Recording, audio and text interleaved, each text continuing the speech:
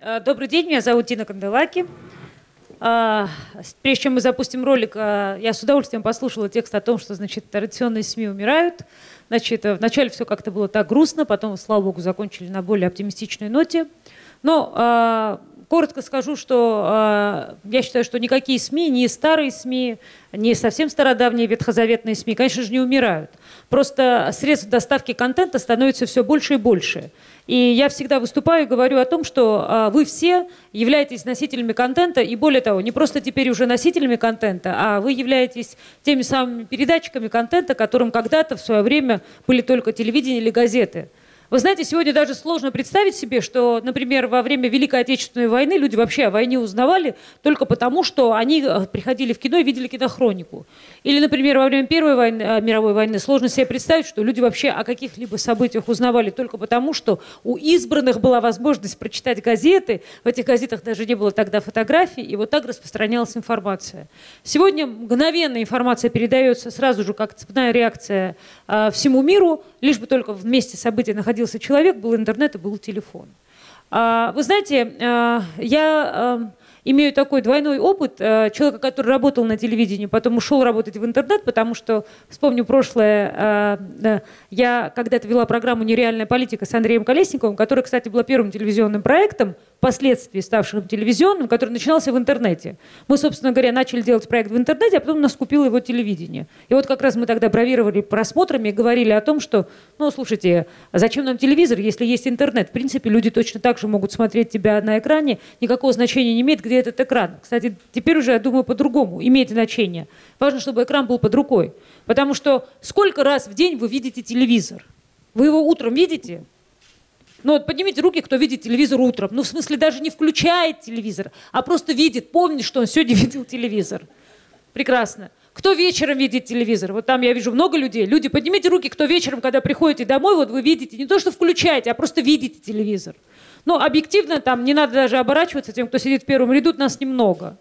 А, то есть это говорит о чем, что а, телевизор для вас это то, что у вас под рукой. Ну, то есть, если так условно говорить. То есть, тот телефон, который вы держите в руке, он вам через Mediametrics рассказывает о всех новостях, через приложение говорит о том, что вам интересно. Вы в разных формах, как бы, да, там, будучи зарегистрированы на разных сайтах, имея приложение, соответственно, разных средств массовой информации, получаете информацию так, как вы хотите. И сейчас умничать долго не буду, потому что я под глубоким впечатлением Рэя Курцвелла и того, что он предсказывает в ближайшие 15 лет, но вы знаете, наверное, кто смотрел сериал «Черное зеркало», фантасты правы и футурологи правы. Дальше дело только за чипом, который будет в голове и который будет мгновенно считывать э, любую реакцию. И более того, вы знаете, я под впечатлением, спойлить не буду, кто видел там второй сезон а, а кто не видел, прям посмотрите, о том, к чему приведут лайки. И что лайки все-таки в конце концов должны стать вообще социальной валютой. И через них, соответственно, мы уже будем получать услуги. Но давайте так, как бы, да, там от космического будущего, когда мы уже будем а, не ездить в пробках по Москве, а летать на специальных уже разрабатываемых летательных машинах, я перейду к делам нашим скромным. Это, собственно говоря, киберспорт, который мы показали на телеканале Матч ТВ. А, первый ролик о том, как это все хорошо, дальше небольшой текст, потом еще один ролик, и финально, соответственно, я вам покажу, как это все будет выглядеть на телеканале Матч ТВ и выглядело в течение 2016-2017 годов. Прошу включить ролик. Спортивный канал мы должны задавать тренды. Все самое, самое модное, все самое современное, технологически прорывное в спорте должно быть на телеканале Матч ТВ. Сейчас может сделать минус по Рубину, но тот с вертухи невероятным хедшотом забирает ваши бицепсы. Поэтому мы будем представлять киберспорт на телеканале Матч ТВ. С вами находимся в шикарном отеле в центре Москвы. Можно подумать, что здесь сегодня пройдет очередной светский раунд, но на самом деле это не совсем так. Сегодня здесь проходит один из крутейших турниров по киберспорту, а точнее по игре Counter-Strike Global Offensive.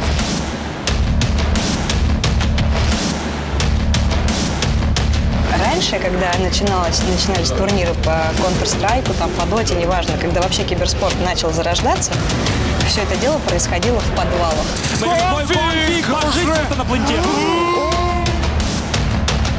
Может быть, я не бегаю и не прыгаю, но, ребята, и вы в своих видах спорта не принимаете таких стремительных решений, как мы. Возьмем игроков в теннис. Мы также должны быть максимально сосредоточены. Но в это время вокруг шумит многотысячная толпа, да и в наушниках полный беспредел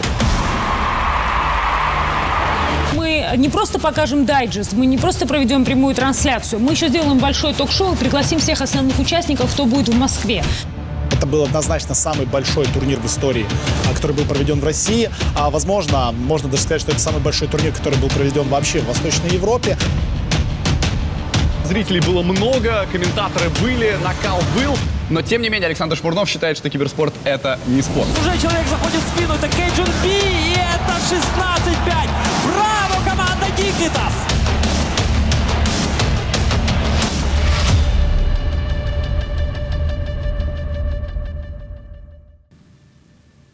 Значит, э, так как все люди информированы, все читают средства массовой информации, вы наверняка следите и за рейтингами, и за цифрами, и за телеканалами, и за проектами. Почему все-таки мы одним из первых э, телеканалов решили показать киберспорт? Но э, э, вы, наверное, прекрасно знаете, что на Западе все-таки спортивное телевидение в большей степени это платное телевидение, поэтому если есть спрос на киберспорт, значит, есть, конечно же, платный канал про киберспорт. Если есть спрос на гольф, там, знаете, 300 тысяч подписчиков у этого канала, и все миллиардеры, и они, соответственно, смотрят гольф.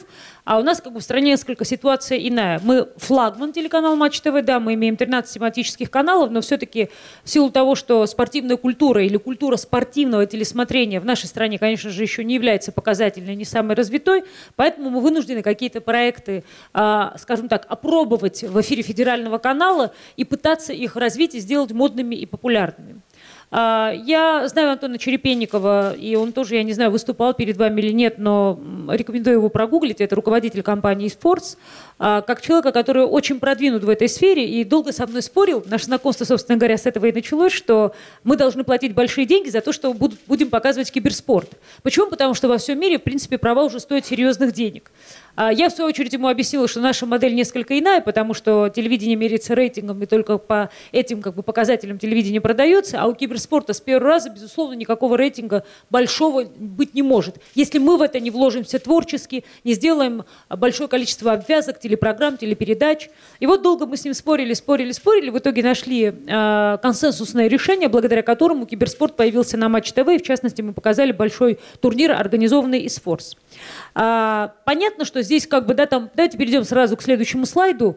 А, здесь а, в первую очередь разговор должен идти о деньгах, потому что а, контент рождается, потому что на него есть спрос, контент а, начинает развиваться, потому что его кто-то покупает, и контент умирает, если спрос на него падает. Но это из открытых источников а, цифры. Возможно, как бы, да, там они могут в плюс-минус ту или иную сторону двигаться. Вот посмотрите, как бы, какие финансовые показатели у рынка киберспорта были в 2016 году. То есть глобальный рынок аккумулирует практически уже под миллиард, 891 миллион долларов. Поэтому, естественно, не двигаться в этом направлении мы не можем, потому что там, где в мире есть деньги, они рано или поздно должны появиться и у нас в стране. Значит, вот а, прогноз доходового роста аудитории в киберспорте. Причем по системе Твича вы прекрасно понимаете, что это как раз пример интерактивного телевидения. Когда люди не просто смотрят, люди еще и платят, люди еще и участвуют, люди интерактивно принимают участие как бы в том контенте, который они видят. Вот за этим я точно считаю будущее телевидения, потому что что вас всех сейчас раздражает? Что вы, в принципе, как бы в любой сети вступаете как бы в дискуссию и можете быть не просто участником этой дискуссии, вы можете выйти в другую ветку, можете возглавить эту ветку, можете стать ньюсмейкером, можете можете, собственно говоря, как бы, да, там, э, повернуть эту дискуссию в любую сторону. А телевидение, оно монументально. То есть э, вы не можете в нем принимать участие. Поэтому, соответственно, мы развиваем очень много форматов, как, например, тот же матч-клуб. И это очень как бы, для меня показательная история, когда ты во время трансляции можешь принимать участие в разных голосовалках. И будущее, наверное, за тем, чтобы ты, в принципе, в момент прямого эфира, наверное, отчасти мог и влиять на контент. И вот в этом смысле киберспорт, так как он является, ну, скажем так, локомотивом такого абсолютно нового и э, такого, как как бы а, телевидения обмена информацией, поэтому, наверное, как бы, да, там, и вот посмотрите, какая интересная строка доходов, это доходы, которые инвестируют сами зрители. Ну, то есть, собственно говоря, когда они платят через Twitch, когда вкладывают свои деньги. И вот, собственно говоря, миллиард двести тридцать – это ожидание в 2019 году от э, индустрии, от индустрии как бы в целом. То есть это очень большие деньги, которые, к сожалению, еще раз говорю, пока не показательны для нашей страны, но когда как бы ты понимаешь, что в мире рынок развивается в эту сторону, ты понимаешь, что рано или поздно мы тоже окажемся, ну, во всяком случае, хотя бы участниками небольшой части этого пирога. Следующий слайд, если можно. А, Я здесь хотела вам показать, как бы, собственно говоря, как а, формируется эта сумма, из чего она состоит, эти интересные сегменты. Конечно, онлайн-ставки. Тут я могу вам сказать, что опыт полутора лет работы на спортивном телевидении а, дает мне возможность абсолютно точно сказать, что, конечно, основное количество денег – это ставки, потому что спорт азартен, люди хотят делать ставки, и это деньги сегодня, здесь и сейчас. Мы достаточно плодотворно сотрудничаем как бы с разного рода а, контрагентами, и я думаю, что в силу изменения в законодательстве и возможности эти деньги опробировать в большей степени с учетом социальной ответственности за эти деньги, конечно, мы будем делать тоже новые форматы, связанные с возможностью как бы делать ставки онлайн. Но вот посмотрите, здесь, значит, 59 миллионов, все-таки один из э, самых больших кусков э, в сравнении как бы с тем же призовым фондом, это онлайн-ставки, дальше любительские микротурниры, продажа билетов, мерчендайзинг, спонсорство, телевизи- телевизионные права и реклама. Это то, о чем я вам говорила, это, собственно говоря, наш спор с Антоном. То есть вы понимаете, о каких деньгах идет речь. Опять здесь, так как есть возможность аудиторией поговорить и прокоммуницировать, и ответить на вопросы, которые, я знаю, всех волнуют, это, собственно говоря, разговор про Ла Лигу. То есть э, за год я чувствую, что практически я стала символом э, испанского чемпионата по футболу. Но вот ответ на вопрос был очень простой. Почему мы не купили? Потому что очень дорогие права. Что значит покупать как бы то или иное соревнование, тот или иной вид спорта, тот или иной турнир? Это значит быть уверенным в том, что рекламная модель позволит тебе эти деньги отбить. Так вот, условно, как это не удивительно, там та же испанская премьер-лига у нас в стране пока не отбивается. Поэтому, соответственно, э, вы видите здесь как бы очень большое количество денег, оно, естественно, аккумулируется на спонсорство и на телевизионные права. То есть, соответственно, телевидение, телеканалы, платные телеканалы платят разным турнирам по киберспорту деньги за то, чтобы, соответственно, стать правообладателем. С Антоном познакомился, он мне рассказал, для меня это было, например, открытием. Я не знала, что у многих спортивных команд есть уже такие кейсы, они инвестируют в киберспорт. И вот из наших, например, это «Спартак» и «Динамо». Вот, они уже как бы инвестируют в киберспорт, соответственно, ну, футбол очень близок, как вы понимаете, там фифу играют все мужчины в той или иной степени увлекающиеся футболом. Поэтому, так как это достаточно параллельные сферы, как бы вот идет такой, как бы, генерация такого потока денег. А, можем перейти к следующему слайду. Я помню про 15 минут. Значит, э, интересно, э, кто же э, увлекается киберспортом? На первый взгляд, если ты не вовлечен в эту тему, тебе кажется, что это исключительно мужчины. Сразу возвращаемся к деньгам. Те, кто имеет отношение к рекламным деньгам, вы понимаете. Главная проблема всегда спортивного телеканала в чем? Что это мужчины. А как бы, да, там а, абсолютно очевидно, что для телевизионной модели и рекламной модели нужны женщины. Куда бы я ни пришла, в какое агентство, мне говорят, женщин дайте. Я говорю, вы понимаете, в чем дело? Как я вам дам женщин? Даже во время Лиги чемпионов это мужчины. И сразу эти мужчины дорожают, потому что чем выше стоимость прав на то или иное спортивное событие, тем дороже эти мужики. А эти мужики, они на открытом федеральном канале а, находятся в момент того вида спорта, который не любят, а потом они, естественно, мигрируют на какие-то другие э, телевизионные события. Они не смотрят спорт беспрерывно. Почему, собственно говоря, как бы понятна модель по подписке. Когда ты один раз ему продал, и дальше тебе абсолютно все равно. Он все матчи английской премьер-лиги посмотрел. Или, условно говоря, как бы пришел только на один матч. Главное, чтобы он купил подписку. А у нас ситуация другая. То есть, условно, вы у нас, мужчины дорогие, один вид спорта посмотрели, а потом пошли на новости. А потом вам захотелось аватар посмотреть, допустим. И, соответственно, вы для нас, ну, как бы вы вообще, э, мужчины телеканала Матч ТВ, вы очень дорогие мужчины. И нам все время говорят, а женщин дайте я говорю, ну, вы понимаете, мы даже исследования провели. Хотят ли мужчины смотреть спорт вместе с женщинами? Вот есть небольшая аудитория молодых женщин 18-24, которые в современном мире готовы бороться за то, чтобы рядом с мужиком смотреть спорт, но в целом, конечно, мужики не хотят. Анонимно они нам отвечали, что, слушайте, я хочу нормально сесть там с пивом, с чипсами, с друзьями, как бы, да, там, с нормальным французским языком, как бы, глядя на нормальный наш турнир, когда идет просто жара, проявить себя в полной мере, а тут рядом женщина, с которой все равно надо себя сдерживать. Поэтому не хотят мужчины смотреть спорт э, с э, женщинами, но женщины в спорт прорываются.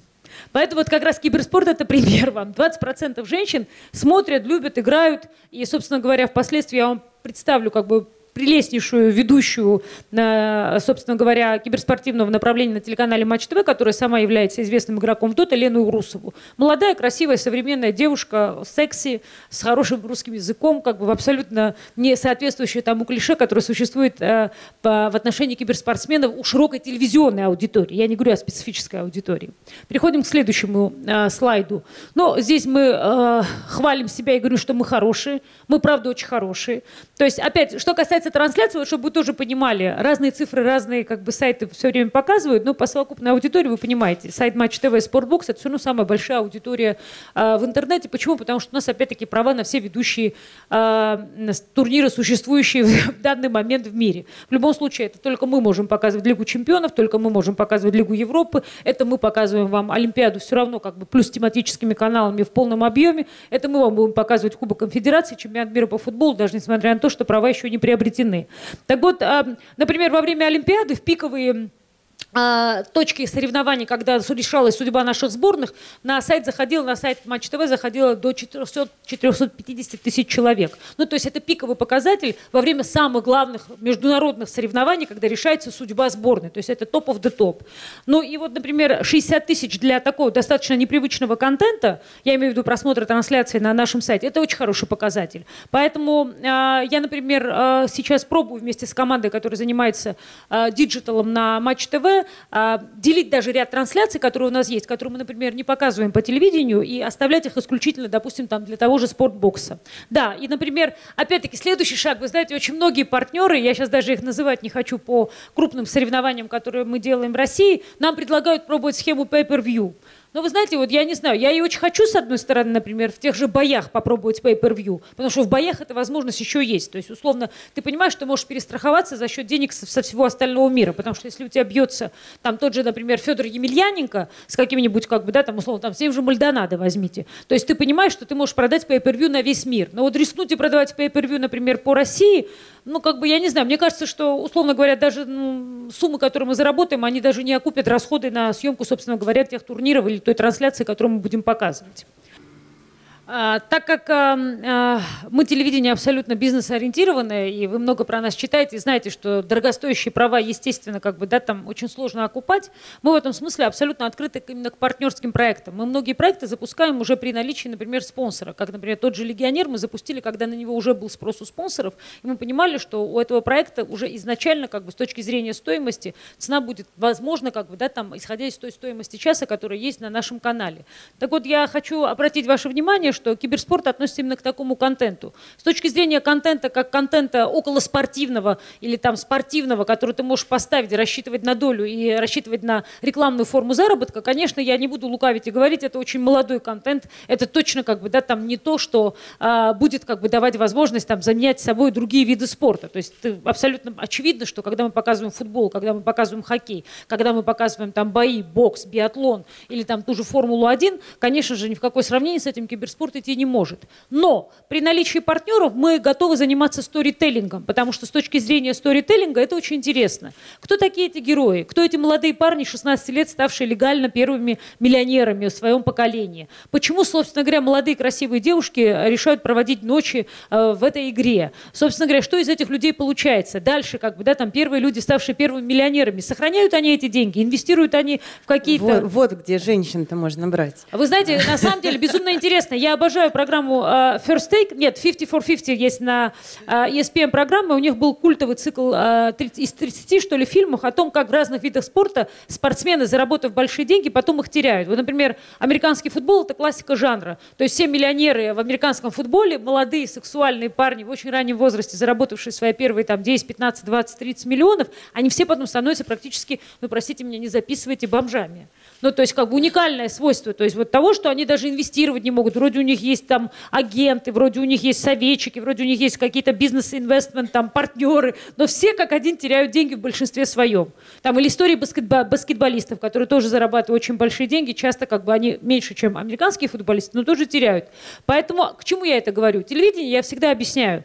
А, если оно открытое, если это как бы федеральный канал, рассказывающий про спорт, то, соответственно, нельзя рассчитывать на то, что спорт, который, ну, давайте правду говорить, в нашей стране не является самым популярным развлечением, вы это видите, даже придя один раз в жизни на стадион, сразу резко станет конкурентоспособным или вообще станет конкурентоспособным по отношению к обычным федеральным каналам, показывающим классику телевидения. Это, конечно же, кино, это, конечно же, сериалы, и это большие развлекательные проекты. Но в чем есть потенциал? Телевидение – это про людей.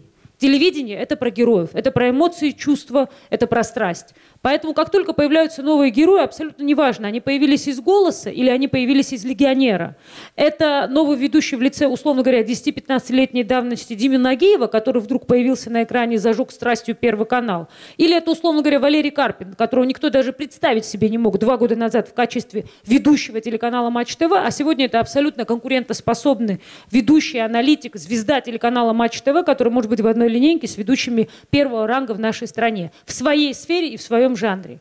Поэтому, так как 15 минут у меня истекло, то есть там дальше в презентации все только про то, что мы будем показывать. Вот в основном, как бы, давайте сразу перейдем к этому слайду. Можно э, сразу быстро пролистать.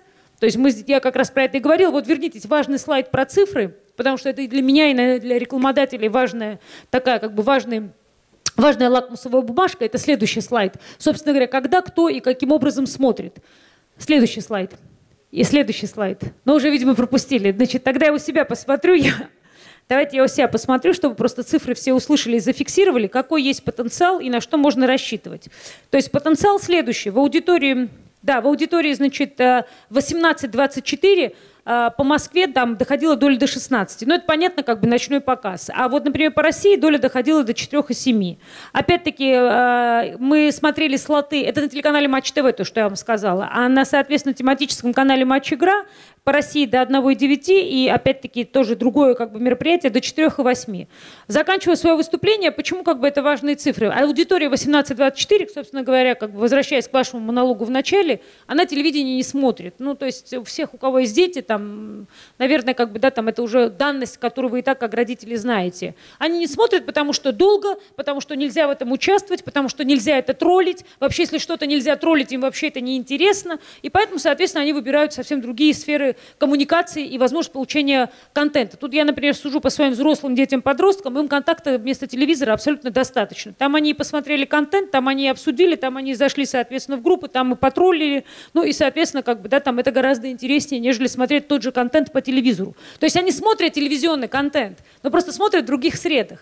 И вот для того, чтобы задача телевидения, для того, чтобы в будущем сохраниться в чем? Каким образом их якорно привлечь к себе? Вот мы 18-24 через киберспорт привлекли. И в этом смысле мы естественно, единственный канал, который может похвалиться вот этой аудитории в самом широком смысле этого слова, которая пришла, поняла, и если мы будем это целенаправленно, а, как вам сказать, последовательно этот контент развивать, она будет этот контент смотреть вместе с нами и развиваться вместе с нами. И, соответственно, таким образом расти как часть ядра аудитории нашего канала. Спасибо большое за внимание. Я просто финализируя свое выступление, я добавлю, наверное, вы в курсе, что в четверг открывается большая арена вы знаете, да? Или не знали? Знали, да? Да, да, да. открывается огромная арена. Вот, собственно говоря, и ответ на вопрос, есть ли будущего киберспорта на телевидении в России. Антон всех приглашает туда, Черепенников.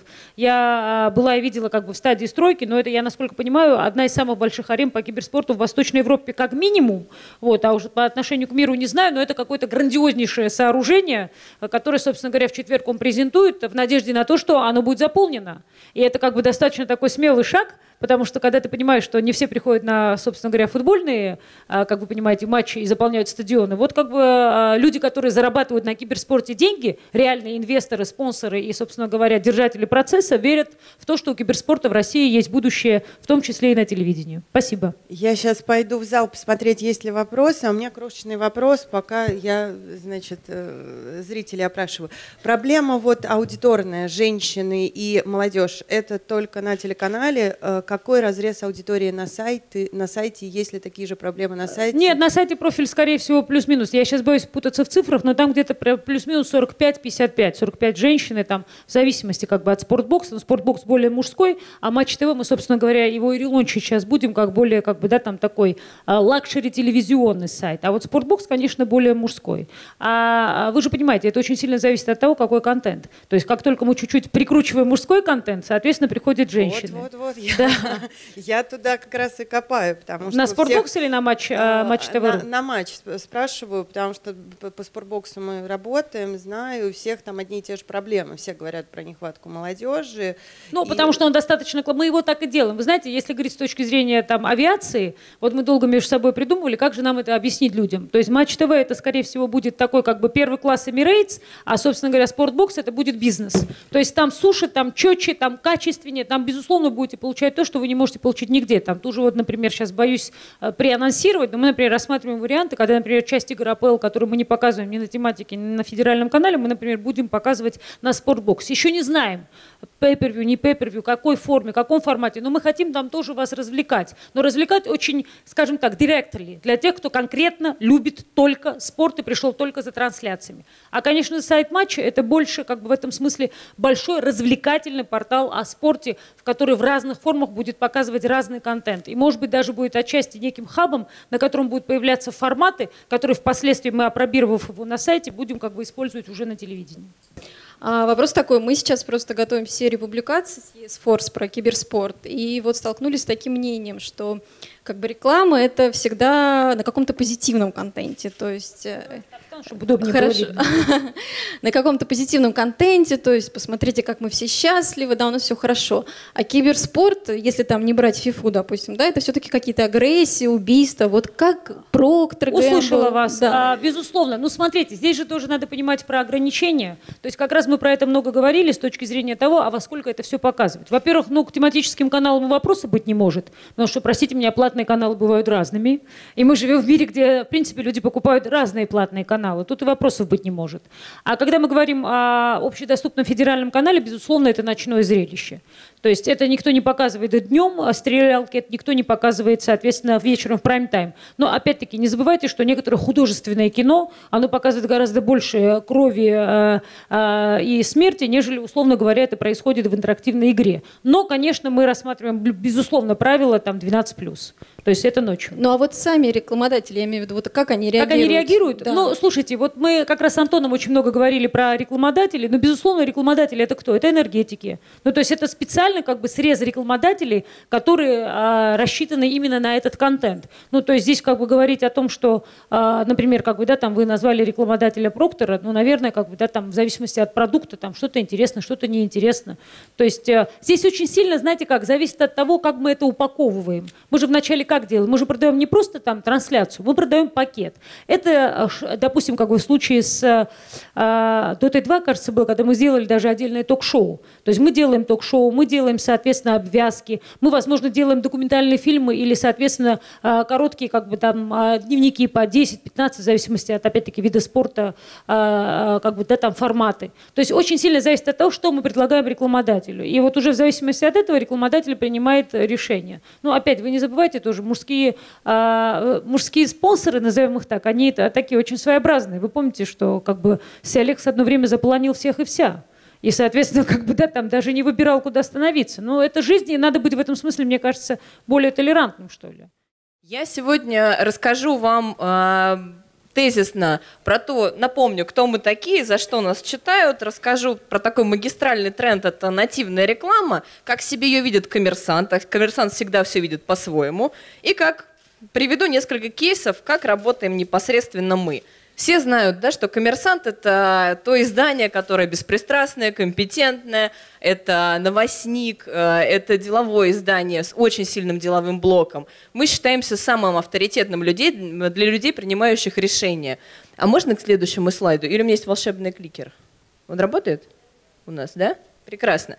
Как вы видите, нас читают, между прочим, вот эта вот реклама из газеты «Коммерсант», я на текущий момент э, вам показываю. За что?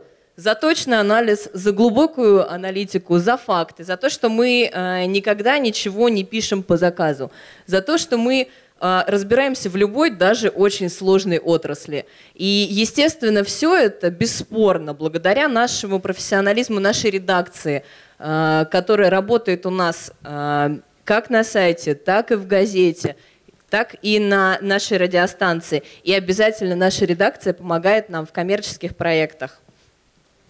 Перейдем к следующему слайду. Здесь я хотела сказать пару слов о том вообще, что такое нативная реклама. Если посмотреть определение в Википедии, это реклама такая естественная для этой платформы, принимающая характеристики, идеальный вариант, помогает избежать баннерной слепоты, налетай, разбирай. Все прекрасно.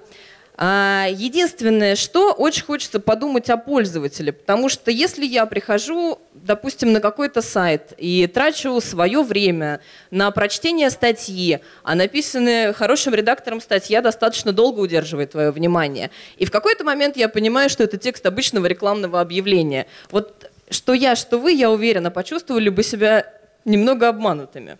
А, потому что вы свое время потратили на чтение абсолютно а, обычной рекламной статьи. А к нам, например, в издание пользователи приходят совершенно не за этим. К нам они приходят а, для того, чтобы посмотреть и почитать качественный контент, и к нам они приходят за нашим особым стилем. Вот как Аня, собственно, начала, мы как коммерсант не боимся главного – мы не боимся э, рассказывать, и мы не боимся называть рекламу рекламой. Поэтому у нас нет слова «натив», у нас есть слово спецпроекта, которые благодаря нашей редакции мы делаем, и делаем их хорошо. Дальше я хочу вам показать несколько наших кейсов. А, выбрали специально немного непрофильные для такого серьезного делового издания. Говорить о них могу часами, но постараюсь очень коротко по ним пройтись. Начнем мы с кейса, который на самом деле принадлежит крупной а, компании «Газпром нефть», они решились на такой нестандартный шаг, на э, серию статей в рубрике «Коммерсант а, Стиль». О чем это было? «Газпром» хотел поддержать программу социальной инвестиции и благоустройства городов. И рассказать, что на самом деле вот тот серый город, в котором мы живем, он не дарит каких-то положительных эмоций, но может их дарить, если над объектами инфраструктуры поработают профессиональные художники. Что мы сделали? Мы, естественно, сделали контентный проект. Естественно, наша редакция написала интересный контент. Но еще мы сделали э, такую интерактивную вставку. По кнопочке черной она у нас расхлопывалась, и можно было не просто посмотреть настоящие объекты, которые были в подобном формате до и после. Но и более того, самому попробовать себя в роли художника я попробовала. Моим творением делиться вообще не стоило, честно говоря. Э, и благодаря чему мы э, удерживали внимание аудитории на каждой статье где-то по 8 минут. Хотя длина статей э, была где-то 3-4 тысячи знаков, и для ее прочтения хватает, ну, в среднем, вдумчиво, это минуты 3. Так что очень э, такой вот интеграции гордимся. Перейдем к следующему проекту. Он у нас от Академии Венского образования. Э, что хотели? Хотели рассказать, э, ну, во-первых, что нужно получать зарубежное образование, как это сделать и почему имеет смысл получать его именно в Вене. Ну и, конечно, привлечь кандидатов на программы MBA. Это Professional Executive MBA, представленные Венской школой образования. А, мы а, сделали проект в формате лонгрида и поместили туда фото и видеоматериалы, где очень детально рассказали не просто, что это такое, зачем нужны эти программы, почему имеет смысл зарубежное образование получать именно в Вене, но и сделали буквально один шаг до того, чтобы заполнить заявку. И э, хочу сказать, что привлекли мы внимание к этому проекту больше 10 тысяч человек. Э, у нас заинтересовалось ну и вот скоро, кстати, у нас будет второй флайт. Заходите на коммерсант, обязательно посмотрите. А, следующий кейс снова от «Газпром нефти», но уже гораздо более серьезный. А, наверняка многие вас, вас знают, как, что такое платформа приразломная, как на нее попытался высадиться Greenpeace с криками, что эта платформа убивает все живое вокруг себя, разливает нефть, и скоро мы все умрем. Хотя делать этого действительно не рекомендуется. Но ничего практически их не остановило, после чего «Газпром» решил, что надо на самом деле рассказать как-то об этой платформе, о том, что это совершенно не выдумки э, их заявления о технологии нулевого сброса, что на самом деле плавающие рядом пингвины и медведи абсолютно живы и здоровы, и все хорошо. Э, и мы создали с ними э, долгоиграющий проект, который подали в совершенно разных форматах. Это, конечно же, и наши заголовки и сложный контент, но тем не менее человеческим языком, потому что люди, работающие там, а, естественно, они не только суровые мужчины и профессионалы своего дела, они обычные люди. И даже мы позволили себе вот такой вот интерактивный мультяшный ролик, который бы буквально на пальцах объяснял, а, что это такое, что такая технология есть, и ни в коем случае а, это не выдумка большой корпорации, которая хочет зарабатывать денег. А, Я на самом деле э, вот один из моих любимых кейсов хочу показать. Кейс, который на самом деле не всем по зубам, и не всем э, по зубам, в принципе, его реализация, потому что это тот самый клиент, которому ничего нельзя. Это клиент Nobel Biocare, производитель зубных имплантов, которому действительно ничего нельзя, не только благодаря закону, но и самому, самому клиенту. А, И сделать этот кейс достаточно сложно, потому что слишком много ограничений. Но тем не менее нужно было рассказать, что а, в жизни любого делового человека улыбка это самое важное, потому что мы до сих пор пойдем купим себе новый телефон или слетаем от- отдохнуть, нежели пойдем и воспользуемся а, услугой имплантологии. А, Хочу сказать, что вот наша зубная математика принесла э, совершенно э, неожиданные результаты. Мы подавали достаточно сложный контент, но при этом, а, да, но при этом буквально за первую неделю в формате бизнес-кейсов собрали где-то 350 пошеров в соцсети, и больше 50 тысяч человек у нас а, действительно заинтересовались этой услугой, и где-то в этом зале должен находиться, собственно, представитель этой компании, который очень хотел, очень хотел себя увидеть в нашей презентажке. Пара слов о важных вещах. Тоже сложный кейс, тоже а, фармацевтической направленности от компании Bayer, а, который проводил репозиционирование и хотел, чтобы его больше не воспринимали как компанию, которая кормит тебя таблетками. А на самом деле Life Science Company инновационная, которая заботится о мире и улучшает качество жизни как для людей, для животных, для растений. Более того, решает а, глобальные современные проблемы. И мы это показали в интерактивном проекте. А, Если вы видите такую нейросеточку, у нас были 3D-модели, которые менялись а, в зависимости от наведения на определенный раздел. Естественно, там был контент, написанный для читателей коммерсанта. Эм, Естественно, мы рассказали, что, как, зачем и почему компании надо доверять и перестаньте, пожалуйста, воспринимать ее как обычную таблеточную. Ну и ближе к концу своей презентации я хочу с вами выпить чаю вместе с компанией Ахмат Ти, э, которая у нас это, это кросс-медийный э, проект, который выходил у нас на нескольких носителях. Это был и сайт, и принт ему в поддержку. А, Что мы сделали? Мы, с одной стороны, сделали образовательный проект и показали, а, как э, чайный пакетик проходит путь от плантации где-то в Азии э, и до вот того самого чайного пакетика, который вы покупаете в магазине. Почему? Потому что компании не только хотелось свое бережное отношение показать, но и в том числе привлечь и работников а, в свою компанию, и а, рассказать бизнес-партнерам о том, что и вот именно у этой компании есть идеология. А, И второй частью нашего проекта стало а, своеобразного рода ритуалы. Мы рассказали, что практически во всех странах есть такой ритуал чаепития, а вот в компании Ахмад Ти есть свой ритуал. Это его величество Ти-тестер, который на протяжении э, 20 лет не просто пробует новые сорта чая, он действительно создает уникальные миксы. И, э, пожалуйста, перестаньте воспринимать то, что находится в пакетиках, как пыль, потому что на это э, уходит много сил, на это уходят э, лучшие годы жизни тестера, как минимум. Ну и все, буквально последний слайд, на котором я хочу поблагодарить вас за ваше внимание и сказать, что да, все будет из дата. Спасибо большое. Действительно, меня зовут Полина Абдулина. Я руководитель спецпроектов РБК. И сегодня я расскажу о том, как мы столкнулись э, с зомби-апокалипсисом, то есть с большим количеством проектов, с резким ростом, и как мы с этим справились. А на самом деле руководство отделом спецпроектов несколько напоминает компьютерную игру.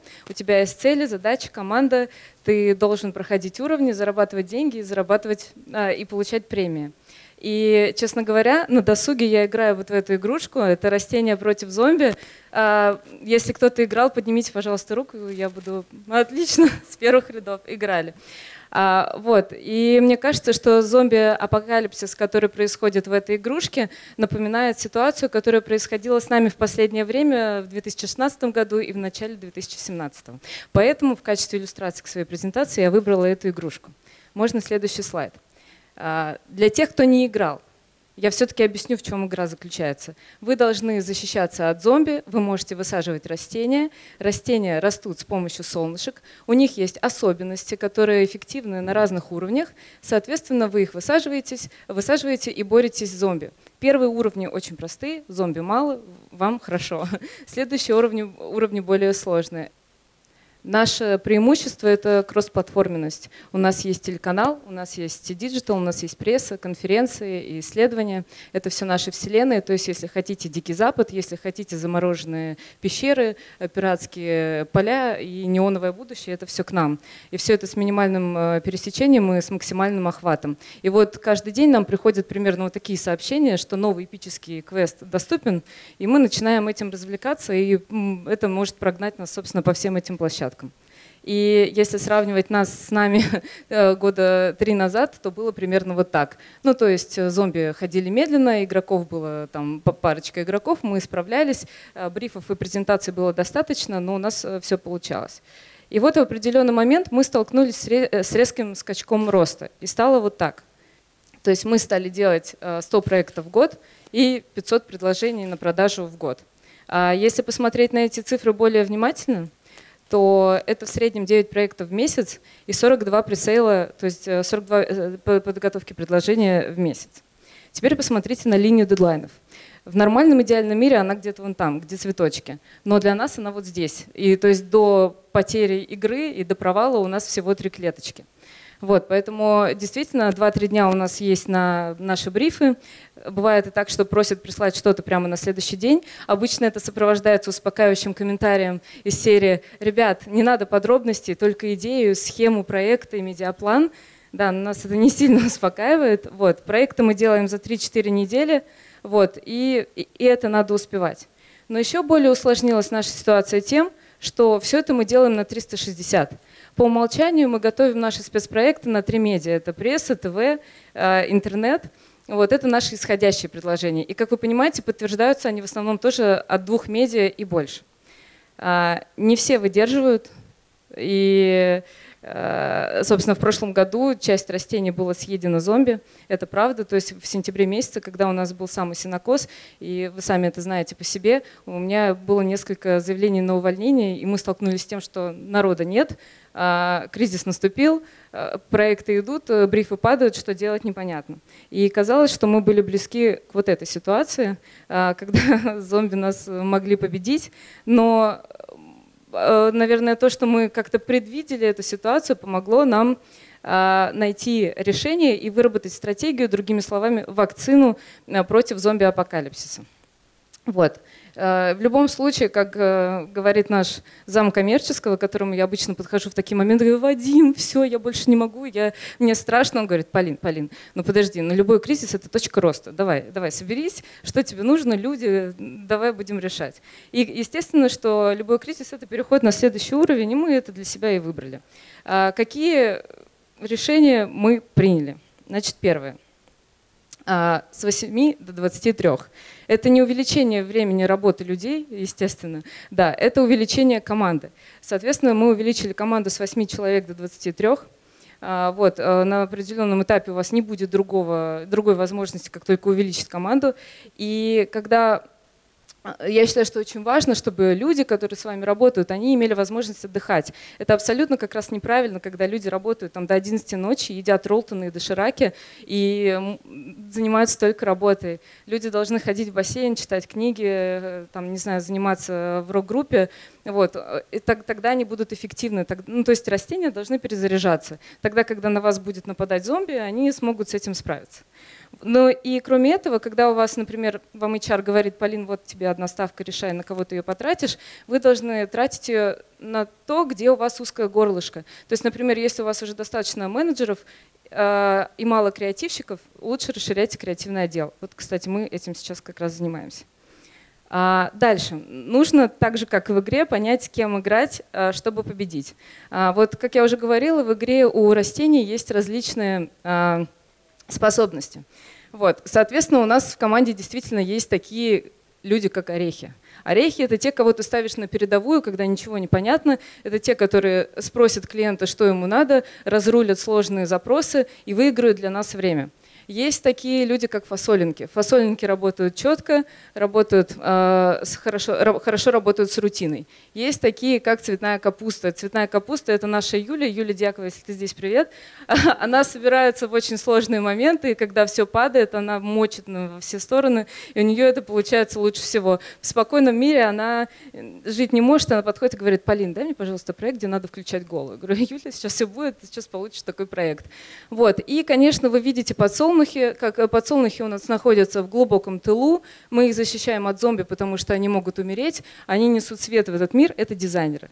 То есть, да, их надо, их надо защищать от зомби в первую очередь. Вот. Э, соответственно, вы не можете расширять команду бесконечно. Э, то, ну, то, что мне говорит HR. Полина, у тебя самый большой отдел, иди домой. Вот. Соответственно, как и в игре вы можете использовать где-то игроков 8, то и команда, вот у меня сейчас она максимально большая. Я не могу больше расширять. Соответственно, я должна прокачивать игроков.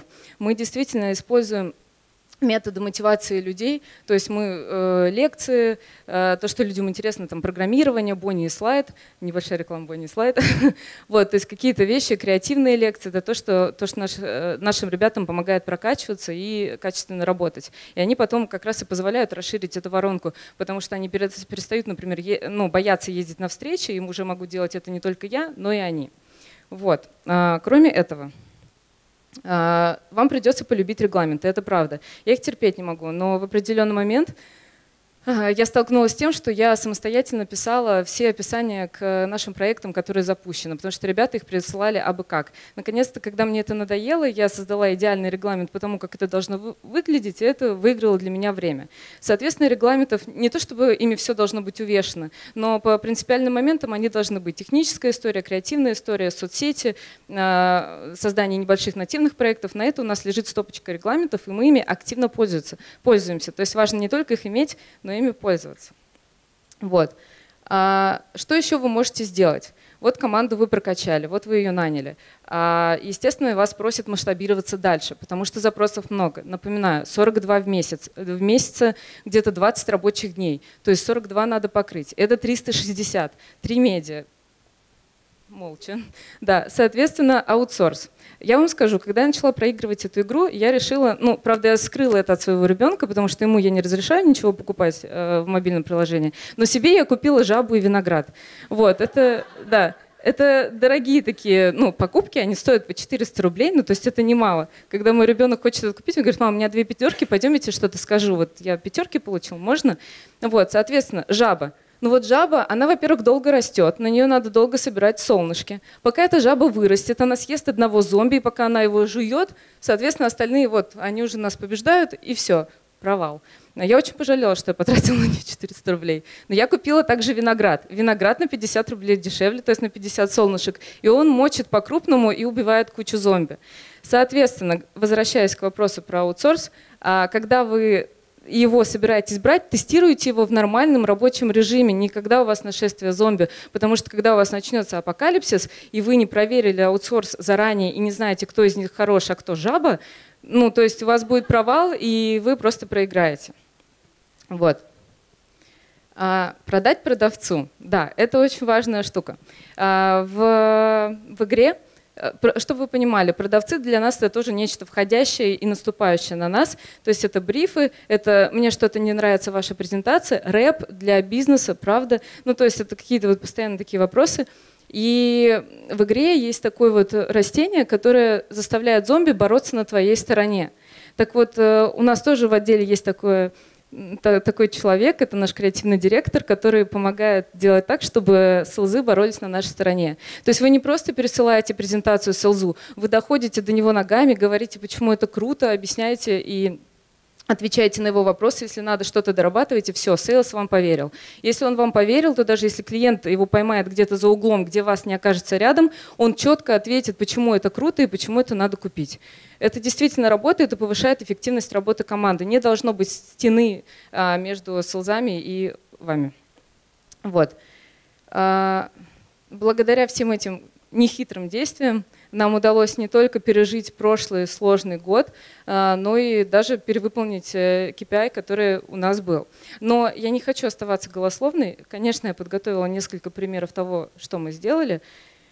И к ним я сейчас перейду. А, Значит, как показывает эта дама, которую вы видите, мы готовили проект к 8 марта, и э, из 24 тысяч человек 9 тысяч человек отправили букеты. Но букеты были созданы из э, салатов белой дачи. Вот, э, были записаны специальные видеоролики, и человек мог выбрать свою э, видеоооткрытку и отправить ее в мессенджер или э, по почте какой-нибудь девушки. Вот, соответственно, получилась такая красота, и мне приятно отметить, что этот проект отмечен двумя интернет-премиями за дизайн. Э, Следующее – это «Оскар». «Оскар», который мы, э, мы второй год делаем проект, э, он, он очень нативный, потому что он сделан в верстке стиля. Этот проект на РБК «Стиль», проект совместно с «Кадиллаком». «Оскар». А, Хороший инфоповод для спецпроектов. Во-первых, к нему можно подготовиться заранее, вот. Во-вторых, если у вас произойдет условно то, что премию вручат Land, то неожиданно на проекте окажется 245 тысяч уникальных пользователей, а это очень хороший показатель. То есть мы такие показатели Кадиллаку не обещали, но Кадиллак уже знает, что если он аккуратно встанет в Оскар, и если на Оскаре произойдет что-то веселое, у него будут очень хорошие цифры. Вот. А, Соответственно, еще один проект, который я хочу показать. Я уже говорила, что мы кроссплатформенные, у нас есть ТВ, и, соответственно, у нас есть целый подраздел видео, э, подраздел, э, целый отдел видеопродакшена. Вот, поэтому мы считаем, что видео одна из наших ну, сильных сторон, а, и мы позволили себе соединить обычный формат теста с видео и получили интерактивное видео а, которые, про- э, которые люди прошли 58 э, тысяч раз. Это хорошее прохождение, учитывая, что до каждого задания человеку нужно было посмотреть, как машина ездит. Но картинка людей держала, и это позволило нам получить такие цифры. Если говорить о кроссплатформенности, то этот проект был реализован еще и на РБК ТВ. А на телеканале РБК, соответственно, шли ролики-анонсы. Сейчас покажу пример.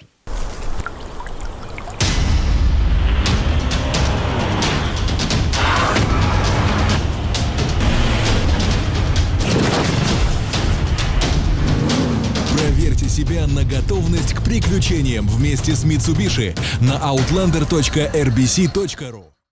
Вот. И еще один проект, о котором я хочу рассказать, это наш флагман прошлого года, проект, который мы сделали вместе с Ростелекомом. А, Прежде чем вы посмотрите ролик, скажу, что этот проект был реализован на двух платформах. Это интернет и соцсети, соцсети РБК, редакционные соцсети. Так вот этот проект имел такой формат э, и такой успех, что соцсети не отказали нам в том, чтобы ставить его каждые 4 часа в течение трех недель в соцсети РБК. И это дало нам большой охват. Вот как- каким должен быть такой проект, чтобы нас редакция приняла с э, распростертыми объятиями, я вам сейчас покажу. В конце 2016 года отдел спецпроектов РБК и компания Ростелеком выпустили уникальный проект. Первое в России бизнес-реалити, участниками которого стали молодые предприниматели. У каждого из них было всего пять дней, чтобы найти слабые стороны, По-хорошему, с точки зрения бизнеса, у вас, ну, как бы это помягче сказать, лажа. раскрыть свой потенциал и вывести бизнес на новый уровень. Но можно ли изменить свою жизнь всего за пять дней? Чтобы помочь участникам, мы постарались наполнить каждый их день множеством событий. С предпринимателями работали лучшие тренеры. Кем я являюсь для своих клиентов? Кто ты, о чем ты и почему мне стоит тебя слушать? Мастер-теоретик, все понял. Спортсмены, музыканты и актеры помогали героям проекта расширить границы своих возможностей. Давай, Анастасия! Стадион ревет! Всего за три недели участников проекта посетили более 50 гостей. Короче, очень сложно. Продукты Ростелекома помогали нашим героям управлять бизнесом и общаться с родными. Наш онлайн-эксперимент вызвал большой отклик у бизнес-аудитории. В соцсетях проект заинтересовал более миллиона пользователей. Общий охват аудитории превысил одну четвертую Рунета. Общее время трансляции составило более 150 часов. Но самое главное, за время проекта мы создали три реальных бизнес-кейса, которые помогли участникам вывести на новый уровень свое дело и самих себя. А мы убедились в том, что достаточно всего пяти дней, чтобы бизнес пошел на взлет.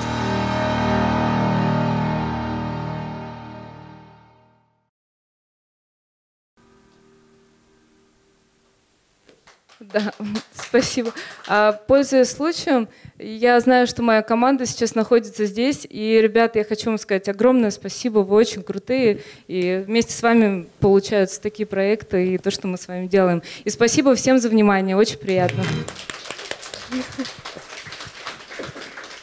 Э, Есть ли какие-то вопросы? Я, честно говоря, хотела задать вопрос, но вопрос у меня снялся в последнем э, видео, потому что как раз и на РИФ, и на последних конференциях говорилось э, о э, невозможности использовать соцсети э, в э, значит, добавлении там, для аудитории охвата спецпроектом. И как раз э, последний слайд ответил на, вопрос, ответил на, на этот вопрос, да, что э, те, э, кто умеет э, минусы современного времени превращать в большие плюсы, всегда впереди планеты всей.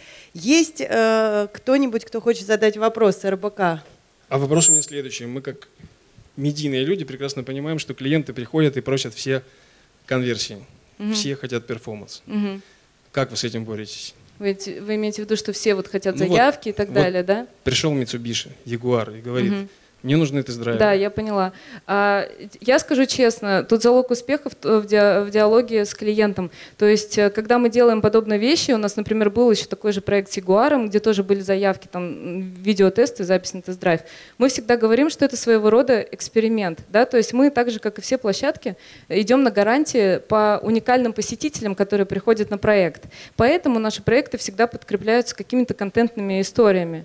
Вот. Но когда на- начинается речь про заявки, а, мы честно говорим, что для, мы можем дать какой-то прогноз. А, Почему мы можем дать прогноз? Потому что у нас есть 5 лет опыта за плечами. Мы понимаем, что если это будет игрушка вроде Mitsubishi, мож- могут быть такие-то цифры. А вот когда условно пришел Билайн и попросил от нас заявки, а, когда было 11 пунктов в анкете, когда ты должен был бить э, свое юридическое лицо или ИНН, вот это было сложно. И мы такие, сложно, сказали мы. Вот. Но, тем не менее, мы дали какой-то прогноз.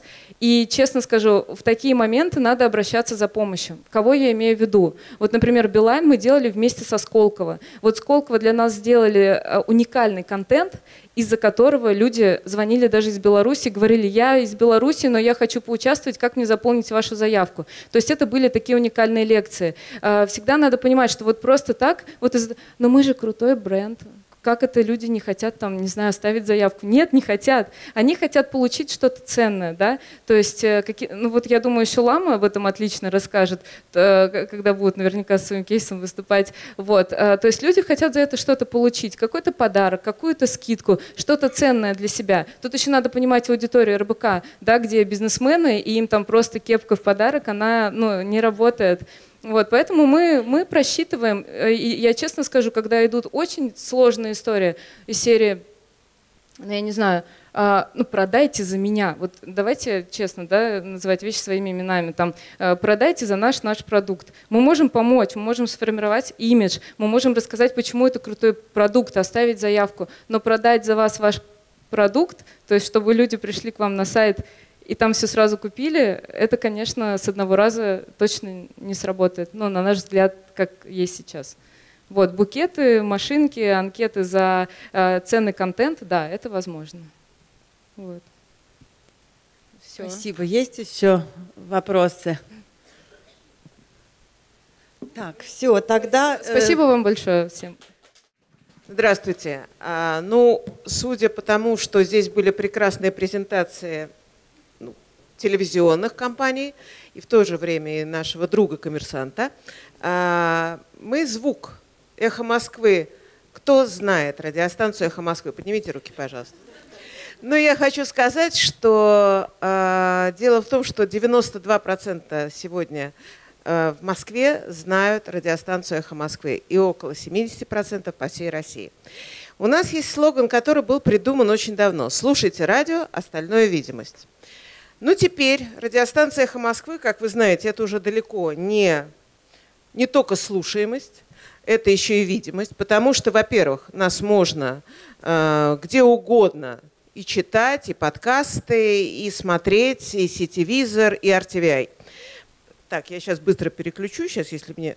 О!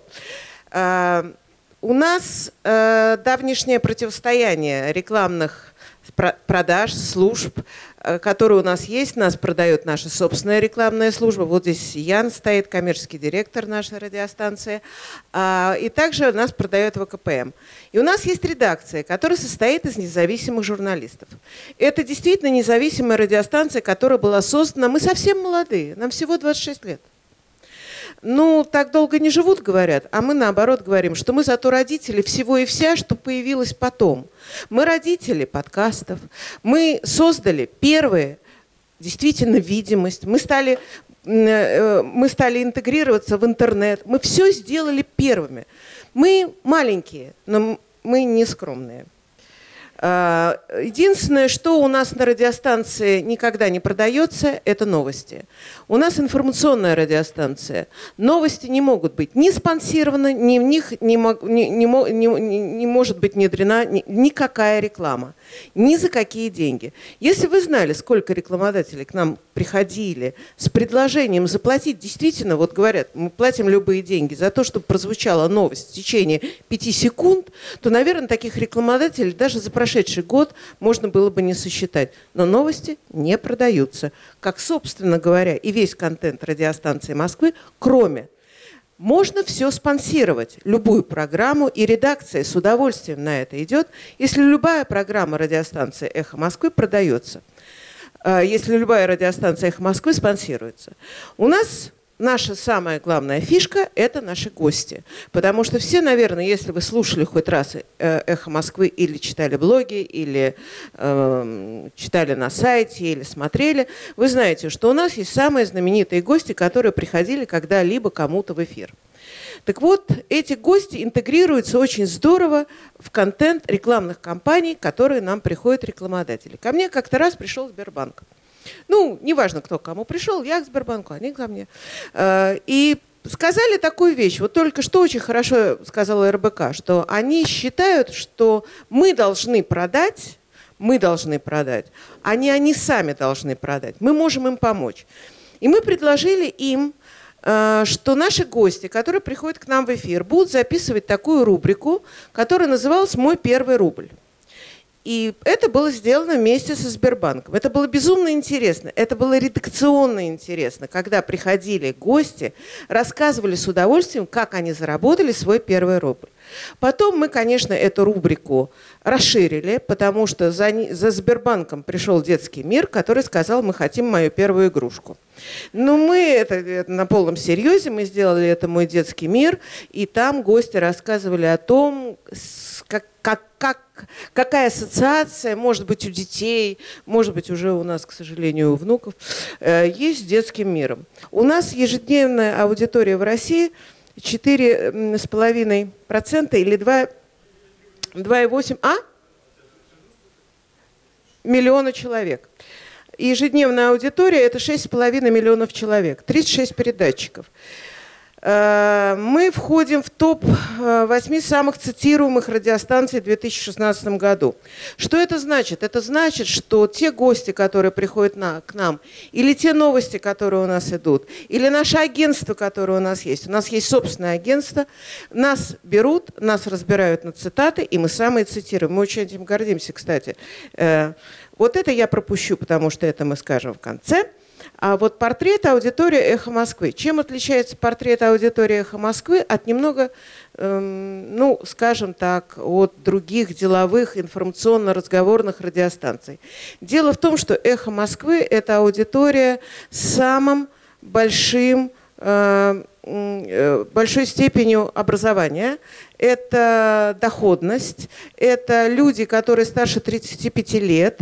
Э, этот процент, который вы видите у себя, сейчас я переключу на следующий слайд. Э, опа. Так, ладно, оставим здесь, я просто скажу. Это люди, которые э, понимают, разбираются, которые первыми начали пользоваться гаджетами, которые начали пользоваться мобильными приложениями, которые на сегодняшний день являются самой активной аудиторией, но это еще аудитория из топ-менеджеров, которые принимают решения. Если вы сегодня придете, молодые и красивые, безусловно, и будете рассказывать красивыми словами, красивыми терминами, все, что вы хотите сказать, с огромным зарядом, с огромной страстью, конечно, вас, безусловно, услышат менеджеры. Но решение будет принимать тот человек, который говорит, я это слушаю, я это смотрю, я это вижу, я это читаю. И вот эти люди, они входят в аудиторию радиостанции «Эхо Москвы».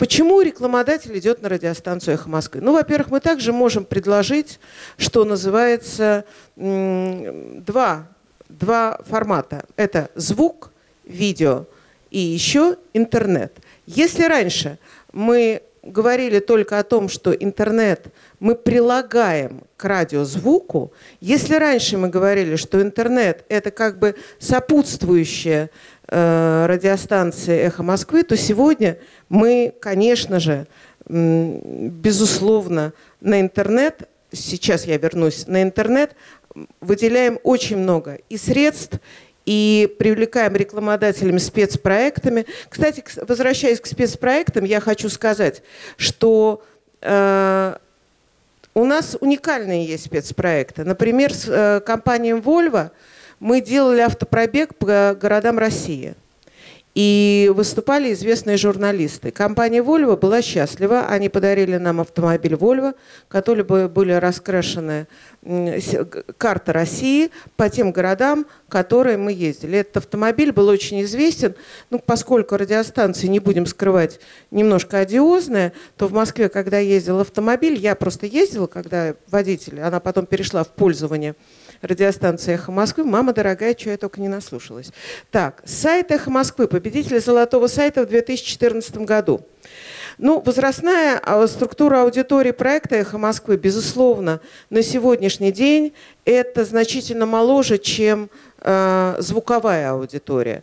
Э, все-таки радио, которое стоит на кухне, как мы приняли, при, когда-то приняли за основу. Это было очень давно. Сегодня радио это слушают в наушниках, с мобильных устройств. Это отдаленная от прямого эфира сегодня аудитория. То есть ты можешь слушать в прямом эфире, а можешь ты послушать подкасты или то, что тебе интересно, когда угодно.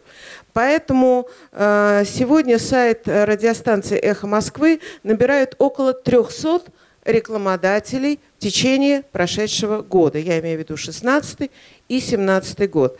И, безусловно, интернет у нас совершенствуется. И сейчас вот я попрошу вторую презентацию включить, потому что я до нее не, не, не перешагну сама.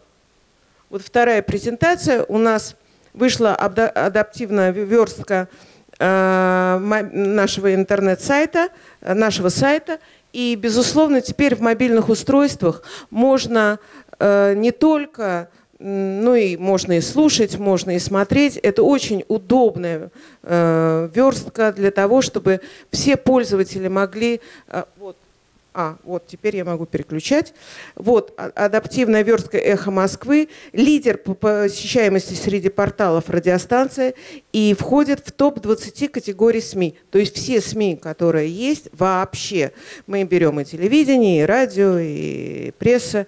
А, вот как выглядит это 800 уникальных посетителей ежедневно, 30% с мобильных устройств. Вот как выглядит это удобно, не нужно ломать глаза, не нужно одевать очки, не нужно ничего, что требуется в принципе ну, на большом экране. И, как вы видите, здесь размещена очень удобная реклама, ее размеры. А, вы можете размещать на мобильных форматах, не боясь, что эта реклама будет раздражать пользователя, не боясь, э, что эта реклама будет мешать восприятию основного контента. Ну и просто-напросто реклама, конечно, очень удобна. Ее можно, в конце концов, и посмотреть после всего. Я не хотела бы задерживать ваше внимание. Я хотела сказать, что спецпроекты на радиостанции «Эхо Москвы» выходят почти что в ежедневном режиме. Если вы послушаете радиостанцию даже в подкастах и посмотрите, то любая программа, которая у нас создана, у нас э, создается специально с каким-нибудь рекламодателем.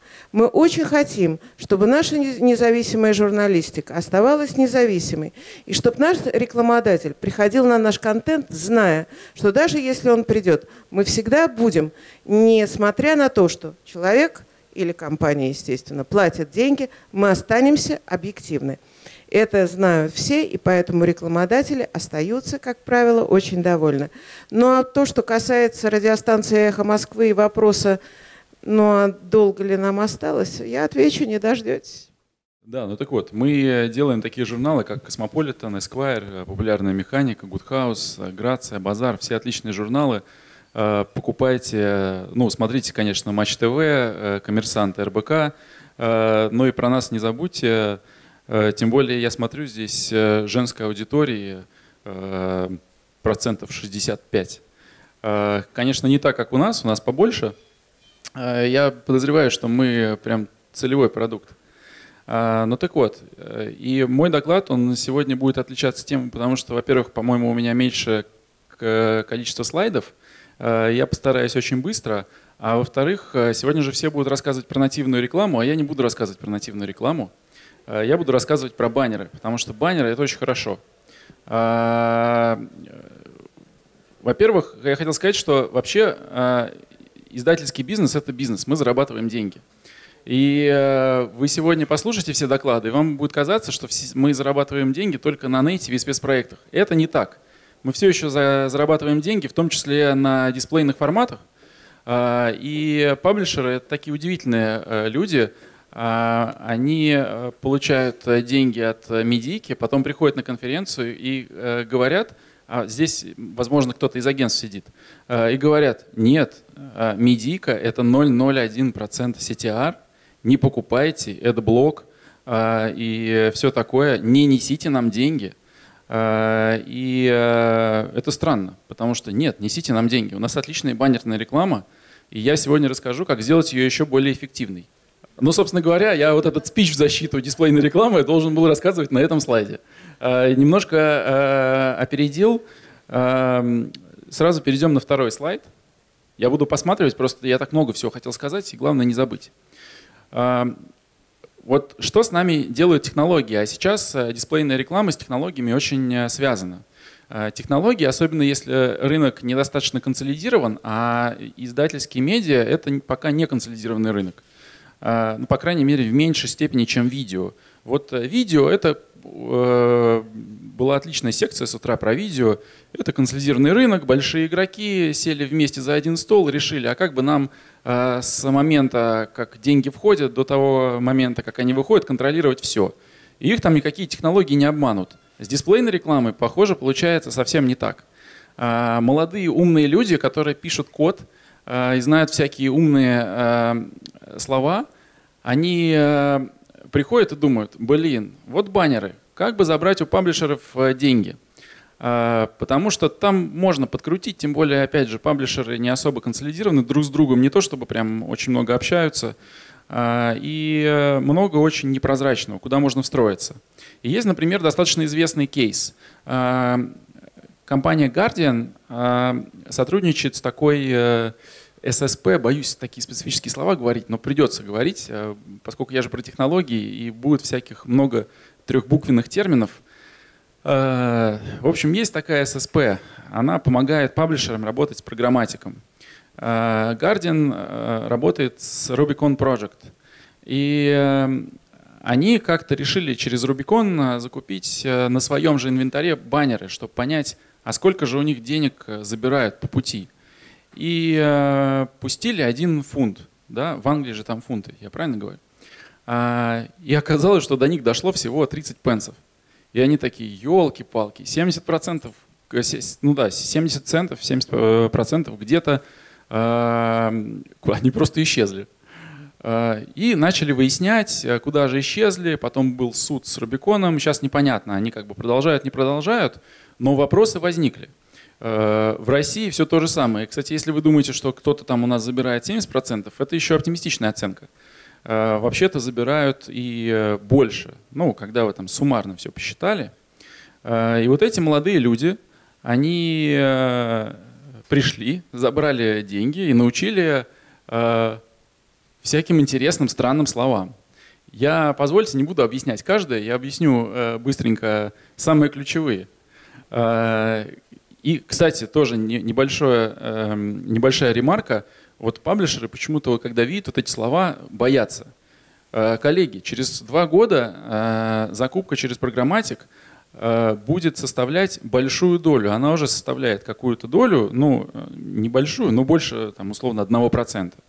А через два года это будет еще больше. И вам просто придется, ну, если вы паблишер, если вы агентство, вы уже, наверное, погрузились во все эти термины. А если вы паблишер, вам предстоит, и я вам рекомендую делать это быстрее, а то прям, ну, вы там не досчитаетесь доходов. Ну так вот, например, здесь есть слово viability. И, а кто знает, что такое viability вообще? Супер. Мне отвечать Процентов... нельзя, наверное. Да. В общем, э, похоже, процентов 7 аудитории знает. Э, смотрите, проблема в том, что когда э, на сайте откручивается баннер, его видят не все. Похоже, его видят в среднем где-то от 30 до 50 процентов. Раньше же вы об этом не думали? Да, пришли люди из программатика, и теперь приходится об этом думать, потому что агентство приходит и говорит – Э, ребята, э, за 500 рублей CPM э, мы не готовы покупать ваши баннеры, потому что у вас viability 30%. И вы даже не понимаете, что это такое, но чувствуете, вас, вы не правы. У вас вина уже сразу. И вы, ладно, окей, 100, 100 рублей, забирайте. Вот так оно все и происходит. Потом, что еще? Да, оказывается, non-human, ну, в данном случае боты – новые технологии э, ботов определяют хорошо. если раньше вы не думали, что у вас их 20%, то вам придет э, там, не знаю, агентство, агентство в, эм, как бы, в обнимку с клиентом и скажет, ребята, опять же, 20% ботов это прям чересчур. Похоже, ваш трафик, вы говорили премиальный, а он никакой не премиальный. И вот это все накапливается, и вы прям готовы уже отдаваться бесплатно. А, а еще чуть-чуть пройдет, и придется еще доплачивать, что баннеры размещали. Ну, этого нельзя допустить. А, кстати, еще перформанс. Вот я просто слушал, я не собирался про это рассказывать, и сейчас вспомнил. А, тоже довольно странная такая штука. А, вот мы размещаем баннеры. А, даже немножко издалека зайду. Мы, у нас э, один из акционеров, американский Херст. И мы встречались с человеком, который отвечает за рекламные технологии Херста, там по полтора месяца назад. А, и он так рассказывает, что у них там технологии, никто не сомневается, что у них технологии, что у них вообще все круто, в этом тоже никто На не сомневается. На всякий случай сразу после тебя Херст выступает. Да, чтобы, чтобы это самое не, не, не. вовремя, чтобы не взболтнуть чего-нибудь лишнего. Не-не, ну я же говорю про американский Херст. С Херст Кулев, а, это отличная компания с отличными продуктами. А, обязательно покупайте тоже там женская аудитория, наши коллеги, друзья, наверное. А, в общем, мы сейчас про американцев, я надеюсь, здесь их нет. А, и, эм, ну, там ничего плохого нет. Просто мы спрашиваем, окей, а CTR к вам же приходит, потому что к нам приходит агентство и говорят CTR, performance. И мне э, наш западный эксперт отвечает, CTR, performance? Нет, агентству должно быть стыдно вообще такое говорить, потому что э, они отвечают только за те показатели, на которые влияют напрямую, то есть за количество показов. Э, CTR Э, влияет ли креатив на CTR? Конечно, влияет, но это же ответственность э, клиента, а не площадки. Э, поэтому и не должна площадка оплачивать ну, вот, дополнительные какие-то усложнения. А у нас такая история, вот делает, кто там на коммерсанте, да, по-моему, был проект с, с Кадиллаком, и кто-то спросил про перформанс. И вот кто-то спрашивает про performance, и мы прям сразу чувствуем, что мы что-то не то делаем, и мы еще должны сгенерить э, там, CPC по 30 рублей, CPA по 100 рублей, э, post-click э, офигенный. Э, но нельзя на это вестись. Ну что вы, давайте отстаивать свою позицию, э, давайте отстаивать свое право э, не всегда генерить performance.